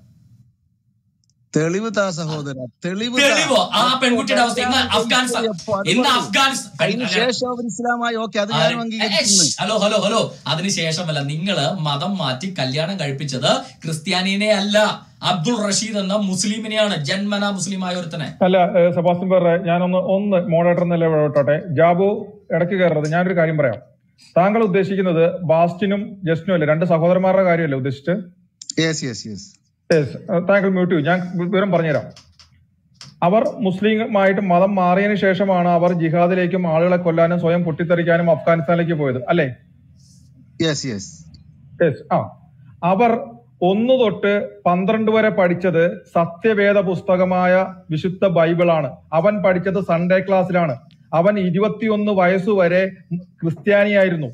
അന്ന് അവന് പൊട്ടിത്തെറിക്കണമെന്നോ ആരുടെയും പെടൽ വെട്ടണമെന്നോ ജിഹാദ് നടത്തണമെന്നോ ആട് മേയ്ക്കാൻ പോണമെന്നോ തോന്നിയില്ല. എന്നവൻ ക്രിസ്തീയത വിട്ടു ഖുറാൻ പഠിച്ചു. അന്ന് അവന് തോന്നി അപ്പോൾ ഏതാണ് സത്യം? ഏതാണ് തെറ്റ്? ഏത് ഏത് വേദഗ്രന്ഥത്തിന്റെ കുഴപ്പമായതുകൊണ്ടാണ് അവൻ പോയി പൊട്ടിത്തെറിച്ചത്? ബൈബിളിന്റെയോ ഖുറാന്റെയോ ഇവിടെ ന്യായീകരിക്കുന്നോ? എന്ത് ചോദ്യം? എന്ത് എന്ത് ചോദ്യം?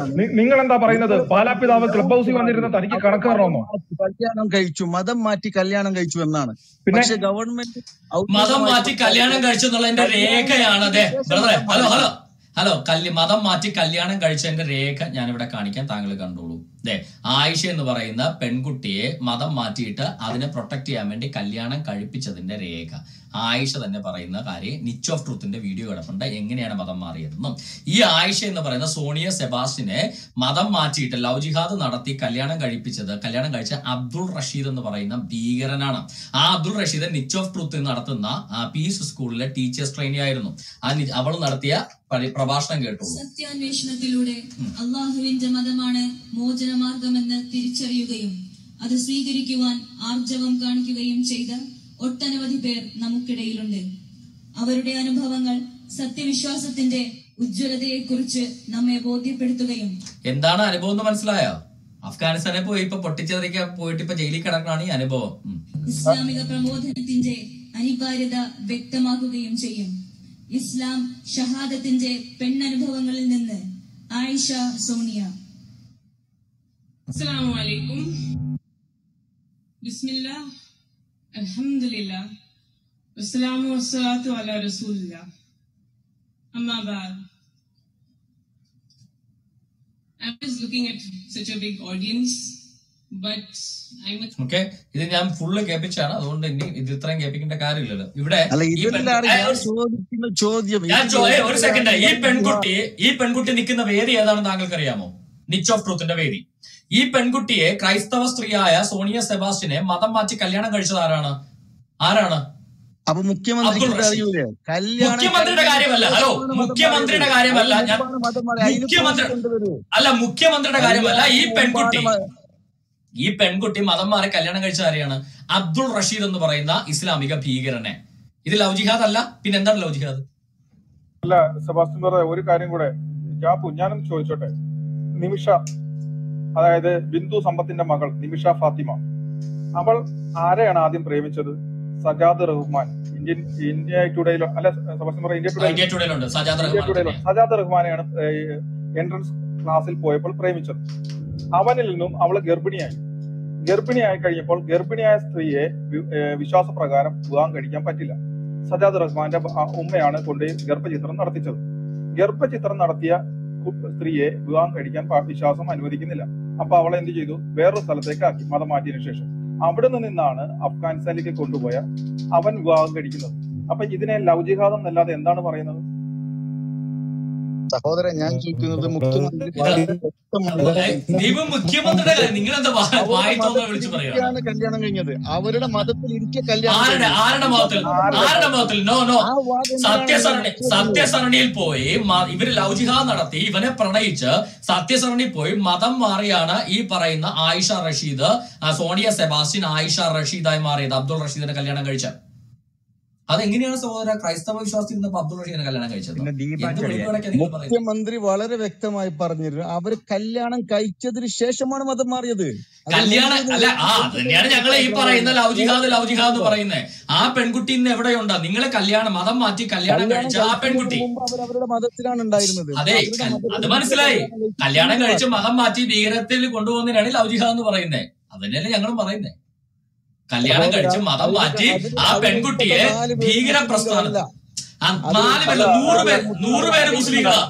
അല്ല ജാബു കല്യാണം കല്യാണം കഴിക്കുന്ന സമയത്ത് കഴിക്കുന്നവരെ ആ പെൺകുട്ടി ഏത് മതത്തിലായിരുന്നു? ജാബു കല്യാണം കഴിയുന്നവരെ ആ പെൺകുട്ടി ഏത് മതത്തിലായിരുന്നു? പെൺകുട്ടി ഹിന്ദു മതത്തിലും പിന്നെ താങ്കൾ പറഞ്ഞ പെൺകുട്ടി കല്യാണം കഴിയുന്നവരെ ഏത് മതത്തിലായിരുന്നു? എനിക്ക് അങ്ങോട്ടും ഇങ്ങോട്ടും കൺഫ്യൂഷൻ ഉണ്ട്. സോണിയ സെബാസ്റ്റിൻ സെബാസ്റ്റ്യൻ കല്യാണം കഴിയുന്നവരെ ക്രിസ്ത്യാനിയായിരുന്നു. അല്ലെ? അതാണ് അതാണോ താങ്കൾ പറയുന്നത് മറ്റ് മറ്റൊരു പെൺകുട്ടി ഹിന്ദു മതത്തിലായിരുന്നു. അവർ ആ, അവർ ഹിന്ദുവും സമയത്ത് ക്രിസ്ത്യാനിയും ആയിരുന്നപ്പോൾ അവർക്ക് പൊട്ടിത്തെറിക്കണമെന്നോ ഇത് ജിഹാദ് നടത്തണമെന്നോ അഫ്ഗാനിസ്ഥാനിൽ പോകണമെന്നോ തോന്നിയായിരുന്നോ? സഹോദര ചോദ്യം പിന്നെ ചർച്ച ചെയ്യാം. ക്രൈസ്തവ വിശ്വാസത്തിൽ സമാധാനികളായിട്ട് രാജ്യത്തിനും സമൂഹത്തിനും നന്മ മാത്രം ചെയ്തുകൊണ്ടിരുന്ന ഒരു പെൺകുട്ടിയെ നിങ്ങൾ പ്രേമിച്ച് മതം മാറ്റി ഭീകരനെ കൊണ്ട് കെട്ടിച്ച് ഭീകര പ്രസ്ഥാനത്തിൽ കൊണ്ടുപോയി ജയിലിലാക്കി ഇപ്പൊ അവസാനം. ഇതിനെയാണ് നമ്മൾ പറയുന്നത് ലവ് ജിഹാദ് എന്ന്. അപ്പൊ ലവ് ജിഹാദിന് തെളിവായല്ലോ. ഇനി അടുത്ത കാര്യം പറ ഇനി എന്താണ് തെളിവ് വേണ്ടത് ഓക്കെ ഇപ്പൊ ഇത് തെളിവല്ല അത് ബാക്കി ഇനി മുഖ്യമന്ത്രി പറയുന്ന തെളിവ്. അല്ല ഒരു സെക്കൻഡ് ഇനി മുഖ്യമന്ത്രി പറയുന്ന തെളിവ് വേണോ? മുഖ്യമന്ത്രി പറയുന്ന തെളിവ്? ആ ഓക്കെ അത് ഇടൂ. മുഖ്യമന്ത്രി ഇവർ കല്യാണം കഴിക്കുന്നതിന് അല്ല ഇവർ കല്യാണം കഴിച്ചല്ല ഇങ്ങനെ ലവ് ജിഹാദ് ഉണ്ടെന്ന്? മുഖ്യമന്ത്രി പറഞ്ഞ തെളിവ് വേണോ? കേട്ടോളൂ. പോപ്പുലർ ഫ്രണ്ട് ശ്രമിക്കുന്നത് കേരളത്തെ മുസ്ലിം സംസ്ഥാനമാക്കാൻ മുഖ്യമന്ത്രി. പണം നൽകി ചെറുപ്പക്കാരെ സ്വാധീനിച്ചും മറ്റു മതത്തിൽപ്പെട്ടവരെ വിവാഹം കഴിച്ചും ഇരുപത് കൊല്ലം കഴിയുമ്പോൾ കേരളത്തെ മുസ്ലിം ഭൂരിപക്ഷ സംസ്ഥാനമാക്കി മാറ്റുകയാണ് പോപ്പുലർ ഫ്രണ്ടിന്റെ ലക്ഷ്യമെന്ന് മുഖ്യമന്ത്രി വി എസ് അച്യുതാനന്ദൻ പറഞ്ഞു. മതം മാറ്റി കല്യാണം കഴിച്ച് കേരളത്തെ ഇസ്ലാമിക രാജ്യമാക്കാൻ ശ്രമിക്കുന്നതിനാണ് ഞങ്ങൾ ഔദ്യോഗികം എന്ന് പറയുന്നത്.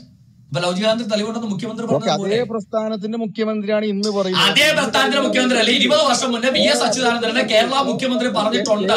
നിങ്ങൾ നിങ്ങൾ നിങ്ങൾ അല്ല അപ്പൊ മുഖ്യമന്ത്രി പറഞ്ഞ എന്താ? അച്യുതാനന്ദ മുഖ്യമന്ത്രി അല്ലേ? അച്യുതാനന്ദൻ പറഞ്ഞ അംഗീകരിക്കില്ലേ? അക്കി അച്യുതാനന്ദൻ പിന്നെ കേരള മുഖ്യമന്ത്രി അല്ലായിരുന്നു? അന്ന് അഫ്ഗാനിസ്ഥാന്റെ പ്രധാനമന്ത്രി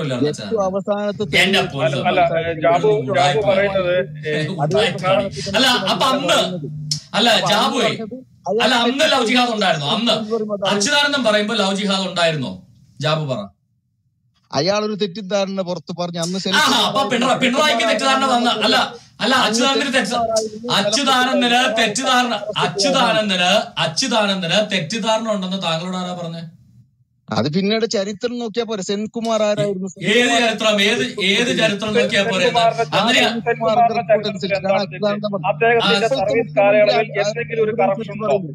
അല്ല അല്ല അല്ല സെൻ അല്ല സെൻകുമാർ അല്ല Senkumar D G P D G P സെൻകുമാറിന്റെ number എന്റെ ഞാൻ ഇപ്പൊ വിളിക്കട്ടെ. അദ്ദേഹത്തോട് അദ്ദേഹം എന്ത് കറപ്ഷൻ നടത്തി? ഒരു ഒരു അഴിമതി കേസുണ്ടോ അദ്ദേഹത്തിനെതിരെ? എന്തെങ്കിലും തരത്തിലുള്ള ഒരു കേസുണ്ടോ അദ്ദേഹത്തിനെതിരെ? ഉടായ്പ്. സംഖ്യ ഒന്നാം നമ്പർ സംഖ്യ അങ്ങനെയാണ് നിങ്ങളെ സുഡാപ്പി. അങ്ങനെയാണ് ഞാൻ കാര്യം പറയട്ടെ. അങ്ങനെയാണ് മുസ്ലിം. അപ്പൊ ഈ ലവ് ജിഹാദിനെ വെള്ളപൂശിന താങ്കൾ സുഡാപ്പിയല്ലേ? നാണമുണ്ടോ ഇങ്ങനെ? നാണം. ഓക്കെ നാണം നിങ്ങൾ പറയാണ് നിങ്ങൾ പറയാൻ ഞാൻ പറഞ്ഞു. മതം മാറ്റത്തിന്റെ പേരിൽ കേരളത്തിൽ ഇന്ത്യയിലെടുത്ത ഏക കേസ് ഇരുന്നൂറ്റി എഴുപത് പേരെ യു പിയിൽ അറസ്റ്റ് ചെയ്തതാണ്. രണ്ടായിരത്തി പതിനെട്ട് സെപ്റ്റംബറിൽ എൻ ഡി ടി വിയിൽ വന്ന റിപ്പോർട്ടാണ്. ഇരുന്നൂറ്റി എഴുപത് പേര് മതം മാറ്റാൻ വേണ്ടി ഡ്രഗ്സ് കൊടുത്തു. എന്താ അത് അഡ്രസ് ചെയ്യാത്തത്? ആര് മതം മാറ്റാൻ വേണ്ടി ആര് ഡ്രഗ്സ് കൊടുത്തു? പാസ്റ്റർമാർ മിഷണറി പ്രവർത്തകർ. പാസ്റ്റർമാർ ഡ്രഗ്സ് കൊടുത്തു. ബൈബിൾ. അല്ല ആ ക്രൈസ്തവരെ മയക്കുമരുന്ന് കൊടുത്ത് നശിപ്പിക്കാൻ അക്രൈസ്തവരെ ഏതെങ്കിലും വിധത്തിൽ നശിപ്പിക്കാൻ ബൈബിൾ എവിടെയാണ് പറയുന്നത്? ക്രിസ്ത്യാനികളോട് യേശു ക്രിസ്തു എവിടെ പറഞ്ഞേക്കുന്നത്? ഇവിടെ നമ്മൾ ബൈബിളും ഖുർആാനല്ലല്ലോ ചർച്ച ബൈബിളും ഖുർആാനും ആണ് ചർച്ച. അയ്യോ ഞങ്ങൾ വ്യക്തികളെ ആരും വിമർശിക്കാറില്ല. ഞങ്ങൾ ഗ്രന്ഥങ്ങളെ വിമർശിക്കുന്നേ. അത് ജാ- ജാബുവേ ഇവിടത്തെ ചർച്ച ഇസ്ലാം പ്രമാണിക ഗ്രന്ഥം അനുസരിച്ചിട്ടാണ് ഇവിടുത്തെ ചർച്ച. ജാബുവേ ജാബുവേ ഇവിടെ ഇസ്ലാം മതത്തെയും ക്രൈസ്തവ മതത്തെയും കുറിച്ചാണ് ചർച്ച. അല്ലെ ഏതെങ്കിലും ഒരുത്തൻ എന്തെങ്കിലും ഒരു കഞ്ചാവ് ഇടിവിറ്റതിനെ കുറിച്ച് ഇവിടെ ആരും ചർച്ച ചെയ്യാറില്ല. ഇസ്ലാം മതത്തിന്റെ പ്രമാണങ്ങൾ അനുസരിച്ചിട്ടാണ് ആ മുസ്ലിങ്ങളെ കൊന്നൊടുക്കാൻ വേണ്ടി നിങ്ങൾ ജിഹാദ് നടത്തുന്നത്. അതുകൊണ്ടാണ് ലവ് ജിഹാദ് നർക്കോട്ടിക് ജിഹാദ് എന്ന് പറയുന്നത്. അത് ഞങ്ങൾ കൃത്യമായിട്ട് ഈ പറയുന്ന ഖുറാനിലെ പ്രമാണങ്ങൾ ബ്രദറെ ഖുറാനിലെ ഖുറാനിലെ പ്രാമാണിക തെളിവനുസരിച്ചിട്ട് ഖുറാനിൽ നിന്നുള്ള കൃത്യമായ തെളിവും ഖുറാനും ഹദീസും വെച്ചിട്ട് ഇവിടെ ഞങ്ങൾ തെളിയിച്ചു കഴിഞ്ഞ കാര്യമാണ്. ഏതു വിധേനയും ശരീരം കൊണ്ടോ സമ്പത്ത് കൊണ്ടോ ഏത് വിധേനയും അവർക്കെതിരെ ജിഹാദ് നടത്താൻ നിങ്ങളുടെ മുഹമ്മദ് പഠിപ്പിച്ചിട്ടുള്ള കാര്യം തെളിവ് സഹിതമുണ്ട്. ബൈബിളിൽ എവിടെയാണ് മയക്കുമരുന്ന് കൊണ്ടോ ആയുധം കൊണ്ടോ പേടിപ്പിച്ച് മതം മാറ്റാൻ പറയുന്ന ഒരു സ്റ്റേറ്റ്മെന്റ് മതം മാറ്റാൻ. അതായത് മതം മാറ്റാൻ വേണ്ടി യുദ്ധം നടത്താനോ അവനെ ഭയപ്പെടുത്തിയോ മയക്കുമരുന്ന് കൊടുത്തോ വാൾ കൊണ്ട് യുദ്ധം ചെയ്തോ മതം മാറ്റാൻ പറയുന്ന ഒരു സിംഗിൾ ആയത്തൊന്നും ഒരു വാക്യം ഒന്ന് എടുക്കൂ. ഒരെണ്ണം പത്തെണ്ണം മതം മാറ്റാൻ പറയുന്ന വാക്യം. മൂന്ന് മുതൽ അഞ്ച് വരെ വായിക്കൂ. ആവർത്തനം. പതിനേഴിന്റെ മൂന്ന് മുതൽ അഞ്ച് വരെ വായിക്കും. മതം മാറ്റം. ഞാൻ ഡിസ്പ്ലേ ചെയ്ത് വായിക്കാം. ഒരു സെക്കൻഡ് മതം കൊന്നു തള്ളണ കാര്യം. അതെ അതെ. Hello hello hello hello. ഇവിടുത്തെ താങ്കൾ ഇവിടെ എടുത്ത കോണ്ടാക്ട് എന്താണ്? മയക്കുമരുന്ന് കൊടുത്ത് ക്രൈസ്തവ പാസ്റ്റർമാരും മതം മാറ്റിയെന്നാണ് താങ്കൾ പറഞ്ഞത്. മതം മാറ്റാൻ വേണ്ടി മയക്കുമരുന്നോ ആയുധങ്ങളോ ഉപയോഗിക്കാൻ ബൈബിളിൽ എവിടെയുള്ള വാക്യം പറയൂ. അത് പറ. മതം മാറ്റാൻ ആയുധം ഉപയോഗിക്കാൻ ഖുറാനകത്തുള്ള ആയത്ത് ഞാൻ തരാം. മതം മാറ്റാൻ ആയുധം ഉപയോഗിക്കാൻ ബൈബിളിൽ എവിടെ പറയുന്ന ഒരു വാക്യം പറയൂ. മതം മാറ്റാൻ വേണ്ടി ആയുധം മതം ജീവിക്കാതെ ഹലോ ഹലോ ഹലോ. ഇവിടെ ചോദ്യത്തിന് ഉത്തരം പറയാം. രാജ്യങ്ങളിൽ യുദ്ധമുള്ള കൊലപാതകമൊക്കെ ഇഷ്ടം പോലെ നടന്നിട്ടുണ്ടോ? ഓക്കെ അതല്ല ഇവിടെ ചോദിച്ചത്. മതം മാറിയില്ലെങ്കിൽ കൊല്ലാനോ മതം മാറ്റാൻ വേണ്ടി കൊല്ലാനോ മതം മാറുന്നത് വരെ കൊല്ലാനോ എവിടെയാണ് ബൈബിളിൽ പറയുന്നത്? മതം മാറ്റത്തിന് വേണ്ടി കൊല്ലാൻ പറയുന്ന ഒരു സിംഗിൾ വാക്യമേ ചോദിച്ചുള്ളൂ. അല്ല യുദ്ധത്തിൽ പല യുദ്ധങ്ങൾ നടന്നപ്പോ പല രാജ്യങ്ങളും അങ്ങോട്ടും ഇങ്ങോട്ടും കൊന്നിട്ടുണ്ട് ആവർത്തനത്തിൽ എവിടെയാണ്? മതം മാറിയില്ലെങ്കിൽ കൊല്ലാൻ പറയുന്നത് എവിടെയാണ്? മൂന്ന് മുതൽ അഞ്ച്. അന്യ ദൈവങ്ങൾ ആരാധിക്കുന്നവർ മുഴുവൻ കൊല്ലണം. എവിടെ അന്യ ദൈവങ്ങൾ ആരാധിക്കുന്ന ആര്? ആര്? ഒരു സെക്കൻഡ് ഓടല്ലേ ഓടല്ലേ ഓടല്ലേ ഓടല്ലേ. സത്യവത പുസ്തകം ഞാൻ എടുത്തു തരാം. ആവർത്തന പുസ്തകം. ചുമ്മാ നിങ്ങൾ അങ്ങ് വായിച്ചില്ല ആവർത്തന പുസ്തകം പതിനേഴാം അധ്യായം. ഞാൻ ഡിസ്പ്ലേ ചെയ്യാണ്. പൊതുജനങ്ങൾക്ക് വേണ്ടി ഡിസ്പ്ലേ ചെയ്യാൻ ആരെ കുറിച്ച് ആരുടെ കാര്യമാണ് പറയുന്നത് എന്നിട്ട് കേട്ടുള്ളൂ പതിനേഴാം അധ്യായം മൂന്നാം വാക്യം മുതൽ. ഒന്നാം വാക്യം മുതൽ എന്നെ വായിച്ചു? വെറുതെ എന്തിനാ രണ്ടും മൂന്ന് ഇത് ബൈബിൾ കണ്ടിന്യൂസ് ഖുറാനെ പോലെ വെളിവില്ലാതെ രീതിയിൽ കൃത്യമായ കണ്ടിന്യൂസ് ആണ്. വല്ല ഊനമോ വിരൂപതയുള്ള കാളിനെ കാളയെങ്കിൽ ആടിനെയെങ്കിലും നിന്റെ ദൈവമായ യഹോവയ്ക്ക് യാഗം കഴിക്കരുത്. നിന്റെ ദൈവമായ യഹോവ നിനക്ക് തരുന്ന ഏതൊരു പട്ടണത്തിലെങ്കിലും നിന്റെ ദൈവമായ യഹോവയ്ക്ക് അനിഷ്ടമായത് ചെയ്ത് അവന്റെ നിയമം ലംഘിക്കുകയും ഞാൻ കൽപ്പിച്ചിട്ടില്ലാത്ത അന്യ ദൈവങ്ങളെയോ സൂര്യചന്ദ്രന്മാരെയോ ആകാശത്തിലെ ശേഷം സൈന്യത്തെയോ ചെന്ന് സേവിക്കുകയും ചെയ്ത നമസ്കരിക്കുകയും ചെയ്ത പുരുഷനാകട്ടെ സ്ത്രീ ആകട്ടെ നിങ്ങളുടെ ഇടയിൽ കണ്ടുപിടിക്കുകയും അതിനെക്കുറിച്ച് അറിവ് കിട്ടുകയും ചെയ്ത നീ നല്ലവണ്ണം ശോധന കഴിച്ച് അങ്ങനെയുള്ള ഈ മിളയച്ചത ഇസ്രായേലിൽ അതായത് അവരുടെ പന്ത്രണ്ട് ഗോത്രങ്ങൾ അവരുടെ കുടുംബത്തിനകത്തുള്ള കാര്യമാണ്. നാട്ടുകാർക്ക് അതിനകത്ത് ഒരു കാര്യമില്ല ഇസ്രായേലിൽ നടന്നു എന്നുള്ളത് വാസ്തവവും കാര്യ യഥാർത്ഥവും എന്ന് കണ്ടാൽ ആ ദുഷ്ടകാര്യം ചെയ്ത പുരുഷനെയോ സ്ത്രീയെയോ ഇസ്രായേലിലെ പന്ത്രണ്ട് കുടുംബത്തിൽപ്പെട്ട പുരുഷനെയോ സ്ത്രീയെയോ ആണ് അവിടെ പറയുന്നത്. പട്ടണവാദികൾ കൊണ്ടുപോയി കല്ലെറിഞ്ഞു കൊല്ലണം. മരണയോഗ്യമാവനെ കൊല്ലുന്നത് രണ്ടോ മൂന്നോ സാക്ഷികളുടെ വാമൊഴിയാലായിരിക്കണം. ഏക സാക്ഷികളുടെ വാമൊഴിയാൽ കൊല്ലരുത്. ഇവിടെ എവിടെയാണ് സഹോദരൻ? മതം മാറാൻ വേണ്ടി കൊലപാതകം നടത്തി അന്യദൈവങ്ങൾ നുണ പറയുന്നതിന് ഒരു ഇത് വേണ്ടേ അതായത് ഇപ്പൊ ഒരു ഹിന്ദുവിനെ അങ്ങനെയല്ല. ഒരു ഹിന്ദുവിനെ പിടിച്ചിട്ട് ഒരു അങ്ങനെയല്ല. ഒരു ഹിന്ദുവിനെ പിടിച്ചിട്ട് നീ മതം മാറിയില്ലെങ്കിൽ നിന്നെ ഞങ്ങൾ കൊല്ലും എന്ന് പറയുന്ന ഒരു വാക്യമാണ് യഹോവനെ വിളിച്ചാൽ അവൻ രക്ഷപ്പെടോ ഇല്ല അത് പറയും. ഏത്? ഇത് ആരാ? ഇത് യഹോവനെ വിളിച്ച് ആരാധിക്കുന്ന അതെ യഹോവനെ വിളിച്ച് ആരാധിക്കുന്ന ഇസ്രായേലിലെ പന്ത്രണ്ട് കുടുംബത്തിൽപ്പെട്ട അവർ പന്ത്രണ്ട് മക്കളാണ് ആരെ സഹോദര? അവരുടെ ഇസ്രായേലിലെ പന്ത്രണ്ട് കുടുംബത്തിനകത്ത് യഹോവയെ വിളിച്ച് ആരാധിക്കുന്ന ആളുകൾ കിടന്ന് കിടന്ന് ഉള്ളല്ലേ സഹോദര? ഞങ്ങൾ പറയട്ടെ. അതെ ബൈബിളിനകത്തുള്ള കാര്യമാണ് ഞങ്ങൾക്ക് പറയേണ്ട കാര്യം. ഇവിടെ അല്ല ഒരു സെക്കൻഡ് ബ്രദർ പാസ്റ്റർ ഒരു സെക്കൻഡ് ഇവിടെ ഇസ്രായേലിനകത്ത് അവരുടെ കുടുംബക്കാർക്കകത്ത് യഹോവയെ മാത്രം ആരാധിക്കുന്ന ഇസ്രായേൽ എന്ന് പറയുന്ന പന്ത്രണ്ട് കുടുംബത്തിനകത്ത് അവരോട് പറഞ്ഞ ഇസ്രായേലിൽ എങ്ങാനും കണ്ടാൽ ഇസ്രായേലിലെ ആ പുരുഷന്മാരെയും സ്ത്രീയെയും എന്ത് ചെയ്യണം? അവരെ കല്ലെറിഞ്ഞു അവരുടെ രാജ്യത്തിനകത്ത് അവരുടെ കുടുംബത്തിലെ അംഗങ്ങൾക്കുള്ള നിയമമാണത്. ഓക്കെ? അല്ലാതെ ഒരു അന്യമതസ്ഥനെ മതം മാറ്റുന്ന ഒരു അന്യമതസ്ഥനെ മതം ഒരു അന്യ ഒരു അന്യ അന്യമതസ്ഥനെ മതം മാറ്റുന്ന കാര്യമാണോ? ഏ ഇപ്പൊ വിഷയം മാറ്റല്ലേ? താങ്കൾ പറഞ്ഞ വാക്ക് ഇവിടെ എടുത്തു ഓക്കെ? താങ്കൾ പറഞ്ഞത് ഇത് മതം മാറിയില്ലെങ്കിൽ മതം മാറ്റാൻ വേണ്ടി കൊലപാതകം നടത്തി അതായത് ഒരാളെ യഹൂദ മതത്തിലേക്ക് കൊണ്ടുവരാൻ വേണ്ടി കൊലപാതകം നടത്താൻ വേണ്ടി അല്ലെങ്കിൽ അവരെ വാൾ കൊണ്ട് നിർബന്ധിച്ച് യഹൂദ മതത്തിലേക്ക് കൊണ്ടുവരാൻ വേണ്ടിയുള്ള വാക്യം കാണിക്കാമെന്നാണ് താങ്കൾ പറഞ്ഞത്.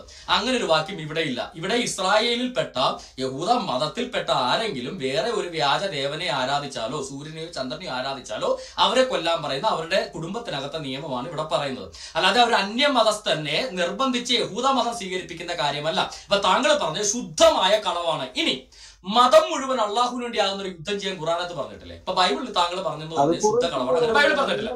മതം മുഴുവൻ അള്ളാഹുവിന് വേണ്ടി ആകുന്ന ഒരു യുദ്ധം ചെയ്യാൻ ഖുറാനിൽ പറഞ്ഞിട്ടില്ലേ? അവസാനത്തെ കാഫിറും അവസാനി അത് കുറേശികളോടല്ലേ പറഞ്ഞത്? അല്ല ഖുറൈശികളോടല്ല പറഞ്ഞത്. അല്ല പറഞ്ഞത്. ഖുറൈശികളോടാണെന്നും പറഞ്ഞെങ്കിൽ ഞങ്ങൾക്ക് കുഴപ്പമൊന്നുമില്ല. നിങ്ങളുടെ ഇതിന്റെ തഫ്സീർ നിങ്ങളുടെ വാദപ്രകാരം ഏയ് ഞങ്ങളുടെ അതെ ബൈബിളിൽ യഹോവ ഗോത്രദൈവമാണ് അതെ ഷരീഫെ ഷരീഫിന്റെ ഗോത്രദൈവത്തിന്റെ കാര്യം അവിടെ ഇരുന്നാൽ മതി. മര്യാദ ഓഡിയൻസിന്റെ ഇടയ്ക്ക് കയറില്ലേ. ജാബിർ. ബൈബിളിനെ കുറിച്ച് ബൈബിളിൽ യേശുക്രിസ്തു തന്നെ പറഞ്ഞിട്ടുണ്ട്.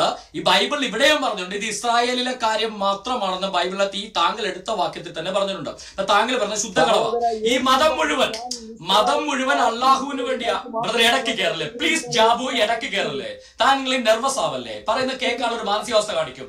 ജാബു ദേവി ഇത് ഇടയ്ക്ക് കയറി ബഹളം ഉണ്ടാക്കില്ലേ ജാബു? ക്ഷമ കാണിക്കൂ പ്ലീസ്.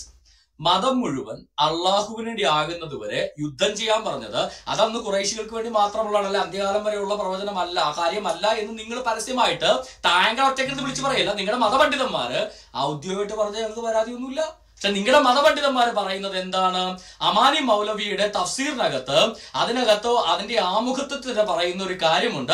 അത് താങ്കൾക്ക് അറിവില്ലെങ്കിൽ ഞങ്ങൾ പറഞ്ഞു തരാം. അമാനി മൗലവിയുടെ തഫ്സീറിനകത്ത് പറയുന്ന കാര്യം താങ്കൾക്ക് അറിയില്ലെങ്കിൽ ഞങ്ങൾ പറഞ്ഞു തരാം. അതിനകത്ത് പറയുന്നത് ഇപ്രകാരമാണ്. അമാനും അവരോട് തഫ്സീറിനകത്ത് പറയുന്നത് നിങ്ങൾ ഈ പറയുന്ന അവിശ്വാസികൾ കാഫിറുകൾ മുനാഫിക്കുകൾ ഖുറാനിലെ ഇത്തരം പദപ്രയോഗങ്ങൾ അക്കാലഘട്ടത്തിലുള്ള ആളുകളെ മാത്രം ഉദ്ദേശിച്ചിട്ടുള്ളതല്ല.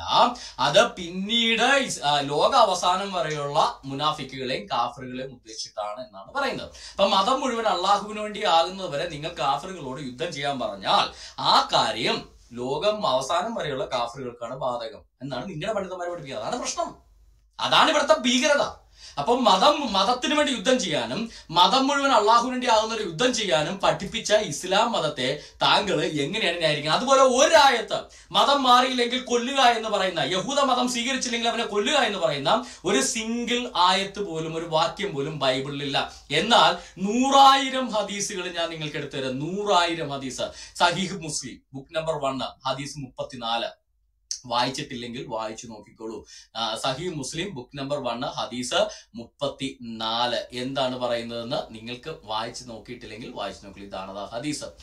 മുഹമ്മദ് ഇപ്രകാരം പറയുന്നു I have been commanded to fight against the people till they testify to the fact that there is no god but അള്ള ലാ ഇലാഹ ഇല്ല അള്ള എന്ന് പറയുന്നത് വരെ അങ്ങനെ പ്രഖ്യാപിക്കുന്നത് വരെ ആ ജനങ്ങളോട് യുദ്ധം ചെയ്യാൻ ഞാൻ കൽപ്പിക്കപ്പെട്ടിരിക്കുന്നു എന്നാണ് പറയുന്നത്. അതായത് മതം മാറുന്നത് വരെ യുദ്ധം ചെയ്യാൻ മതം മാറ്റാൻ വേണ്ടി യുദ്ധം ചെയ്യാൻ ഖുറാനകത്ത് ഹദീസുകൾക്കകത്ത് പറഞ്ഞിട്ടുള്ള കാര്യമാണ്.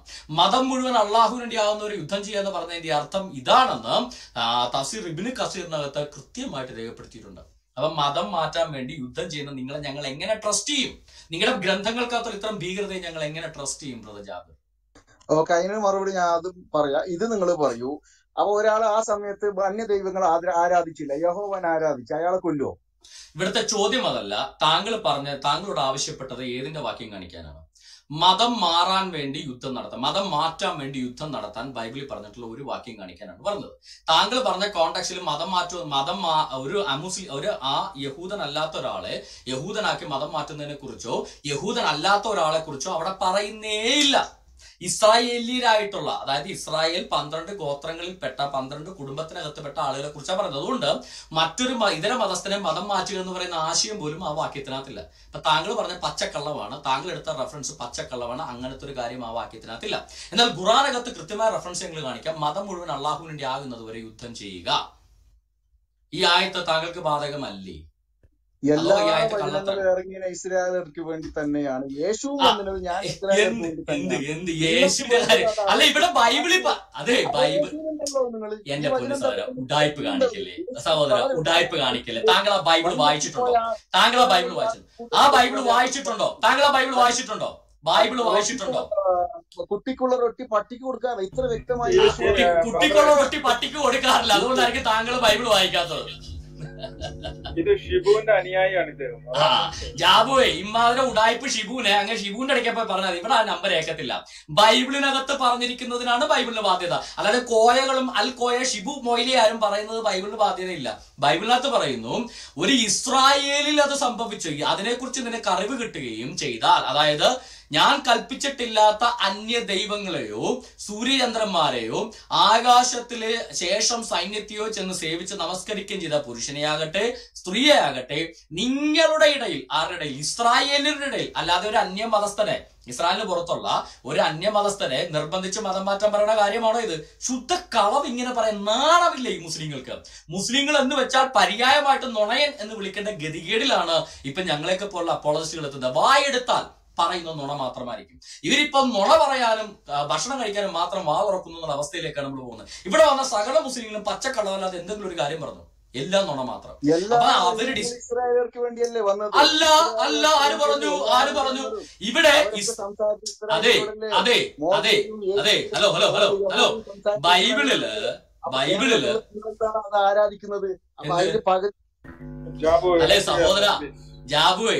ഇവിടെ കൃത്യമായിട്ട് പറഞ്ഞിട്ടുണ്ട്. താങ്കൾ എടുത്ത വാക്യം മതം മാറ്റത്തെ കുറിച്ചുള്ള വാക്യമല്ല. ഇതര മതസ്ഥരെ നിർബന്ധ അല്ല അങ്ങനെ ഇതര മതസ്ഥരെ യുദ്ധത്തിലൂടെയോ മറ്റേതെങ്കിലും നിർബന്ധത്തിലൂടെയോ മതം മാറ്റാൻ ബൈബിളിലെ ഒരു വാക്യം പോലും നട്ടല്ലുണ്ടെങ്കിൽ ജാബു ഒരെണ്ണം കാണിച്ചു കാണിച്ചതാ ഉത്ത ചോദിച്ചു കഴിയുമ്പോ ആന നിൽക്കുമ്പോ ചേനയെ കുറിച്ച് പറയില്ലേ? ഇവിടെ ചോദിച്ചതിന് ഉത്തരം പറയൂ. മതം മാറ്റുന്നു ഒരു അമുസ്ലിമിനെ ഒരു ആ ക്രൈസ്തവനെയോ ആ യഹൂദനെയോ യഹൂദനല്ലാത്ത ക്രൈസ്തവനല്ലാത്ത ഒരു അന്യജാതിക്കാരന് ഒരു അന്യമതക്കാരനെ ഈ ഒരു നിർബന്ധത്തിലൂടെ യുദ്ധത്തിലൂടെ മതം മാറ്റാൻ പറയുന്ന ഒരു വാക്യമല്ലേ ചോദിച്ചുള്ളൂ. ഞാൻ നൂറുകണക്കിന് വാക്യങ്ങൾ ഹദീസുകൾ നിങ്ങളുടെ അകത്ത് എടുത്തു തരാം. ഒരു സിംഗിൾ വാക്യം ബൈബിൾ എന്ന് പറയും ഒരു ഇതര മതസ്ഥനെ നിർബന്ധിച്ച് യഹൂദ മതം സ്വീകരിപ്പിക്കണമെന്നോ ഒരു യുദ്ധം ചെയ്ത് യഹൂദ മതമോ ക്രൈസ്തവ മതമോ സ്വീകരിക്കണമെന്നോ ഒരു സിംഗിൾ വാക്ക്.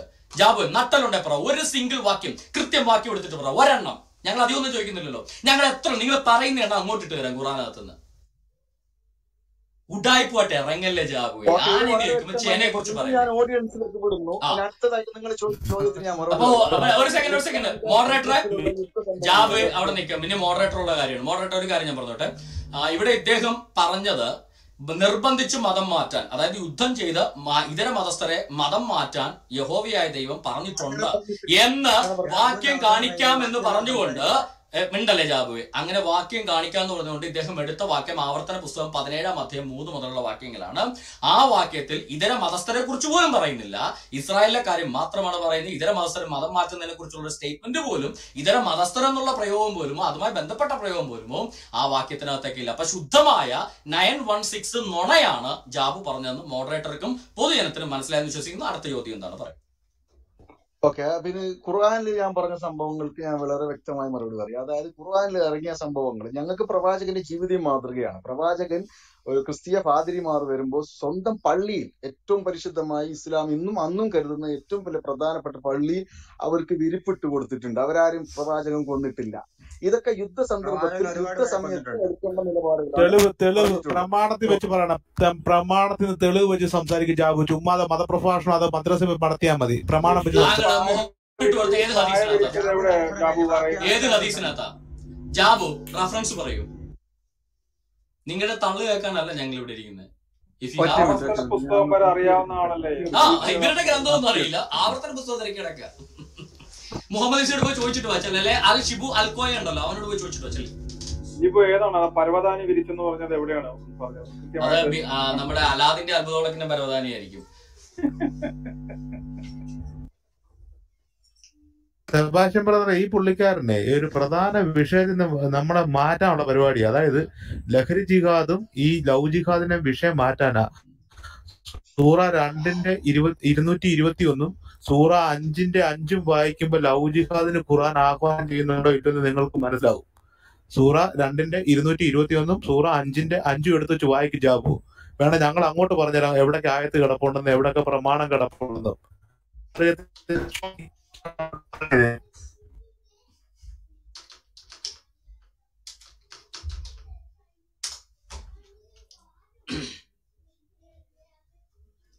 ജാബു കണ്ടുപിടിക്കാൻ പോയതാണ്? ആ വഴി അങ്ങ് വീട്ടിൽ പോയോ? ബൈബിളിലെ ആവർത്തന പുസ്തകം വരെ കൃത്യമായിട്ട് അറിയാം.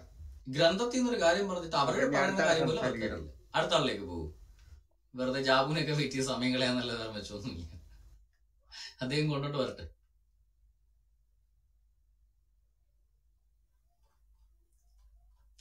മോഡറേറ്റേഴ്സ് എന്റെ ശബ്ദം മാത്രമാണോ പോയത്? എല്ലാവരും പോയോ? ഇല്ല അദ്ദേഹം റെഫറൻസ് എടുത്തിട്ട് നമുക്ക് അടുത്ത ആളിലേക്ക് എപ്പോഴത്തേക്കും ഫിനിഷ് ചെയ്യാം.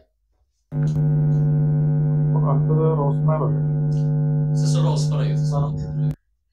ബ്രദർ ബ്രദർ ഇപ്പൊ ഞാൻ ഇപ്പൊ ഒരു ഒരു സ്പീക്കർ പറഞ്ഞത് കൊണ്ട് അതിനെ കുറിച്ച് ഒന്ന് ചോദിക്കും. അത് കഴിഞ്ഞിട്ട് എന്റെ ക്വസ്റ്റ്യനിലേക്ക് പോവാം.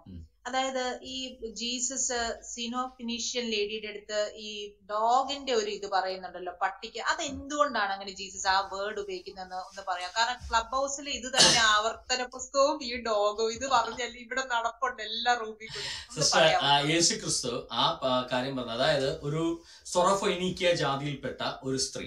സൊറഫൊയിനിക്കിയ ജാതിയിൽപ്പെട്ട ഒരു സ്ത്രീ കർത്താവിന്റെ അടുക്കൽ വന്നിട്ട് തന്റെ കുട്ടിയെ സൗഖ്യമാക്കണം എന്ന് പറയും. അപ്പൊ യേശു ക്രിസ്തു പറയുന്ന മറുപടി എന്ന് പറഞ്ഞാൽ കുട്ടികൾക്കുള്ളതെടുത്ത് നായ്ക്കൾക്ക് കൊടുക്കാറില്ല. അതിനകത്തൊരു കാര്യം ശ്രദ്ധിക്കണം. ആ ഞാൻ ആ റെഫറൻസ് എടുത്തിട്ട് ഞാൻ സിസ്റ്ററോട് പറയാം. ഓക്കെ ഞാൻ ആ സുശേഷ് ഭാഗം നിർത്തോട്ടെ സെക്കൻഡ് അതായത് അത് ഡിസ്പ്ലേ ചെയ്ത് പറയാനാണ് കാര്യം. ഇവരെ പോലെ നമുക്ക് ഈ റെഫറൻസ് ഇല്ലാതെ പറയുന്നതിൽ അർത്ഥമില്ലല്ലോ. അതുകൊണ്ടാണ് ഒരു സെക്കൻഡ്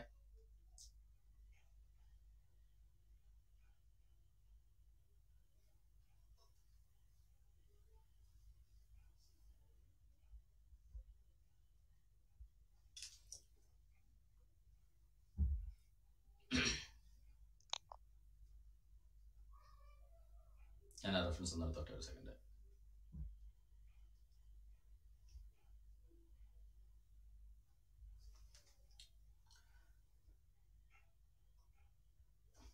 ഓക്കെ ഇവിടെ ഇപ്പൊ മർക്കോസിന് പല സുവിശേഷത്തിനകത്തും ആ ഭാഗമുണ്ട്. അതുകൊണ്ട് ഞാൻ ഇപ്പൊ ഉദാഹരണത്തിന് മർക്കോസിന്റെ സുവിശേഷം ഞാൻ ജസ്റ്റ് എടുക്കാം. മർക്കോസിന്റെ സുവിശേഷത്തിനകത്ത് നമുക്ക് വരുന്ന ഭാഗം വായിക്കാം. മർക്കോസിന്റെ സുവിശേഷം ഏഴാം അധ്യായത്തിനകത്താണ് അത് ഞാനത് നിർത്തി ഡിസ്പ്ലേ ചെയ്തിട്ട് ഞാൻ വായിക്കാം. മർക്കോസിന്റെ സുവിശേഷം ഏഴാം അധ്യായത്തിനകത്ത് അതിന്റെ ഇരുപത്തി അതിന്റെ ഇരുപത്തി അഞ്ചാം വാക്യം മുതൽ ഞാൻ ഡിസ്പ്ലേ ചെയ്തോട്ടെ ഓക്കെ സുവിശേഷം ഏഴാം അധ്യായം അതിന്റെ ഇരുപത്തി അഞ്ചാമത്തെ വാക്യം മുതൽ. അശുദ്ധാത്മാവ് ബാധിച്ച ചെറിയ മകൾ ഉള്ള ഒരു ക്ഷമിക്കണം. അശുദ്ധാത്മാവ് ബാധിച്ച ചെറിയ മകൾ ഉള്ള ഒരു സ്ത്രീ. യേശുവിന്റെ വസ്തുത കേട്ടിട്ട് വന്ന് അവന്റെ കാൽക്കൽ വീണു. അവൾ സുറോഫൊയ്നീക്യ ജാതിയിലുള്ള ഒരു ഗ്രീക്ക് സ്ത്രീയായിരുന്നു. യവന സ്ത്രീയായിരുന്നു തന്റെ മകളിൽ നിന്ന് ഭൂതത്തെ പുറത്താക്കുവാൻ അവൾ അവനോട് അപേക്ഷിച്ചു. യേശു അവളോട് മുമ്പേ മക്കൾക്ക് തൃപ്തി വരട്ടെ. മക്കളുടെ അപ്പം എടുത്ത് ചെറുനായ്ക്കൾക്ക് ഇട്ടുകൊടുക്കുന്നത് നന്നല്ല എന്ന് പറഞ്ഞു. അവൾ അവനോട് അതേ കർത്താവ്. അതായത് ഇപ്പൊ ഇവിടെ യേശുക്രിസ്തു പറഞ്ഞ ആ ഒരു കോണ്ടാക്ട് നിങ്ങൾ ശ്രദ്ധിക്കണം.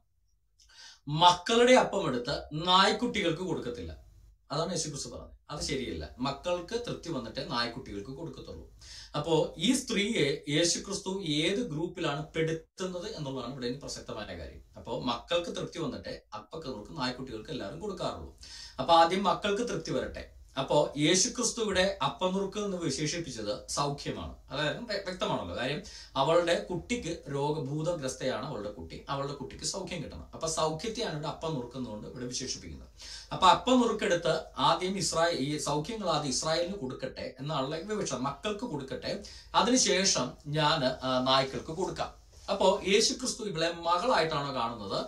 നായ്ക്കുട്ടിയായിട്ടാണോ കാണുന്നത് എന്നുള്ളതാണ് ഇന്നത്തെ കാര്യം. അവൾ അവനോട് അതേ കർത്താവെ ചെറുനായ്ക്കളും മേശക്ക് കീഴെ കുട്ടികളുടെ അപ്പനുറുക്കുകളെ എന്ന് ഉത്തരം പറഞ്ഞു.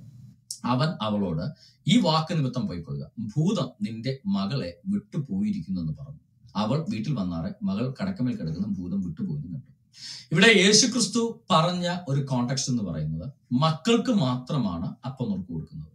അല്ലാതെ നായ്ക്കുട്ടികൾക്കല്ല. പക്ഷെ അവൾ തിരിച്ചു വയ്ക്കുന്ന ചോദ്യം ഒരു വീട്ടിൽ നായ്ക്കുട്ടികൾ ഉണ്ടെങ്കിൽ ആ നായ്ക്കുട്ടികൾക്ക് പോലും നുറുക്കുകളെങ്കിലും കിട്ടത്തില്ലേ? പക്ഷെ യേശുക്രിസ്തു അവൾക്ക് കൊടുത്തത് അപ്പമാണോ അപ്പത്തിന്റെ നുറുക്കാണോ? ഈ അവശിഷ്ടമാണോ യേശുക്രിസ്തു കൊടുത്തത്? അല്ല. ആ സ്പോട്ടിൽ അവൾ വീട്ടിലെത്തുന്നതിന് മുന്നേ ഇവിടെ പറഞ്ഞു നിൽക്കുമ്പോൾ തന്നെ ഒരു ഇസ്രായേലിന് സൗഖ്യം കിട്ടുന്നതിന് മുന്നേ തന്നെ അവൾക്ക് ആ അവളുടെ കുഞ്ഞ് സൗഖ്യമായി. അതായത് അവൾ ഈ സംസാരിച്ചുകൊണ്ട് നിൽക്കുമ്പോൾ നിക്ക് ഞാൻ രണ്ട് ഇസ്രായേലിന് സൗഖ്യമാക്കിയിട്ട് ഞാൻ നായ്ക്കുട്ടികൾക്ക് ബാക്കി ഉണ്ടെ തരാം എന്നല്ല യേശുക്രിസ്തു പറഞ്ഞത്. അതായത് യേശുക്രിസ്തു അവളെ കണ്ട എന്തായിട്ടാ? മകളായിട്ടാണ് കണ്ടത്. അതായത് മക്കളുടെ ഗ്രൂപ്പിലാണ് അവളുടെ വിശ്വാസം എത്രത്തോളം ഉണ്ട് എന്ന് അറിയാൻ വേണ്ടി യേശുക്രിസ്തു ചോദിച്ച കാര്യമാണ്. അവളുടെ വിശ്വാസം അത്രത്തോളം വലുതായതുകൊണ്ട് തന്നെ യേശുക്രിസ്തു അവളെ കണക്കാക്കിയത് മക്കളായിട്ടാണ്. കുറച്ച് ഇസ്രായേലിൽ കൊടുത്തിന്റെ അവശിഷ്ടമല്ല. അതായത് അപ്പമുറുക്കുകൾ കഴിക്കുന്ന ചെറു നായായിട്ടല്ല അവളെ യേശുക്രിസ്തു കണക്കാക്കിയത് അതുകൊണ്ട് തന്നെ മറ്റൊരു ഇസ്രായേലിനോ മറ്റാർക്കെങ്കിലുമോ സൗഖ്യം കൊടുക്കുന്നതിന് മുമ്പേ തന്നെ വാക്ക് പറയുന്ന മൊമെന്റിൽ തന്നെ അവിടെ വീട്ടിൽ കുഞ്ഞ് സൗഖ്യമായി. അതായത് അവൾക്ക് കിട്ടിയത് അപ്പമാണ്. അല്ലാതെ ആർക്കെങ്കിലും കൊടുത്തിന്റെ അവശിഷ്ടമല്ല അവൾക്ക് കിട്ടിയത്. ഇനി യേശുക്രിസ്തു പൊതുവെ ഇത്തരത്തിലുള്ള ഒരു ഇസ്രായേലിലേക്ക് മാത്രം സൗഖ്യം കൊടുക്കുക എന്ന ഒരു ആറ്റിറ്റ്യൂഡിൽ നിൽക്കുന്ന ഒരാളായിരുന്നു. അല്ലേ അല്ല. ഇത് എത്രയോ എക്സ്പ്ലനേഷൻ എത്രയോ ഉദാഹരണങ്ങൾ അതിനുണ്ട്. പത്ത് കുരുടന്മാർ വന്നു പത്ത് കുഷ്ഠരോഗികൾ വന്നു യേശുക്രിസ്തുവിന്റെ അടുക്കൽ. അതിൽ ഒരാൾ ശമരക്കാരനായിരുന്നു ഇസ്രായേലിൽ നിന്നും അല്ലായിരുന്നു. അവൻ ശമരക്കാരനായിരുന്നു. അവന് ഈ പത്ത് പേർക്ക് ഒരുമിച്ച് യേശുക്രിസ്തു സൗഖ്യം കൊടുക്കുന്നത്. അതിൽ ശമരക്കാരൻ തിരി മാത്രമേ തിരിച്ചു വരുന്നുള്ളൂ. യേശുക്രിസ്തു അവനെ പ്രത്യേകം അപ്രീഷിയേറ്റ് ചെയ്യുകയാണ് ചെയ്തത്. ഒരു ശമരക്കാരനായിട്ട് പോലും ഈ ശമരക്കാരനല്ലാതെ ആരും നന്ദി പറയാൻ വേണ്ടി തിരിച്ചു വന്നില്ലല്ലോ എന്ന് പറഞ്ഞുകൊണ്ട് ആ യേശു ക്രിസ്തു ആ ശമരക്കാരനെ അപ്രീഷിയേറ്റ് ചെയ്യുകയാണ് ചെയ്തത്. അല്ലാതെ ആ പത്ത് കുഷ്ഠരോഗികൾ ആ ഒമ്പത് പേര് ഇസ്രായേലേ അവർ മാത്രം സൗഖ്യമാവട്ടെ ശമരക്കാരൻ ഇപ്പൊ സൗഖ്യമാവണ്ട എന്നല്ല യേശു ക്രിസ്തു പറഞ്ഞത്. അപ്പൊ ഈ ഒരു സ്ത്രീയുടെ അടുക്കൽ വളരെ കൃത്യമായിട്ട് ആ സ്ത്രീയുടെ വിശ്വാസത്തിന്റെ ആഴവും ആ സ്ത്രീയുടെ തീവ്രതയും ഒന്ന് മെഷർ ചെയ്യാനും അതിനുശേഷം നിങ്ങളെ ഞാൻ കാണുന്നത് മക്കളായിട്ടാണ് എന്ന് കാണിക്കാൻ വേണ്ടി ആരുടെ അവശിഷ്ടമല്ല യേശു ക്രിസ്തു കൊടുത്തത്. അവൾക്ക് സ്ട്രൈറ്റ് അവേ മക്കൾക്ക് കൊടുക്കുന്ന അതേ അപ്പം തന്നെയാണ് അവൾക്കും കൊടുത്തത്. അതായത് അവളെ യേശു ക്രിസ്തു അപ്പം നുറുക്കുകൾ തിന്നുന്ന നായായിട്ടല്ല കണക്കാക്കിയത് സ്വന്തം മകളായിട്ടാണ് കണക്കാക്കിയത്. അതായത് ആരുടെ അവശിഷ്ടമല്ല കൊടുത്തത്? ഒറിജിനൽ രോഗസൗഖ്യം മറ്റാർക്കെങ്കിലും കൊടുക്കുന്നതിന് മുന്നേ അവൾക്കാണ് ആദ്യം കിട്ടിയത്. ഇസ്രായേലിൽ കിട്ടുന്നതിന് മുന്നേ അവിടെ അവൾക്കാണ് ആദ്യം സൗഖ്യം കിട്ടുന്നത്.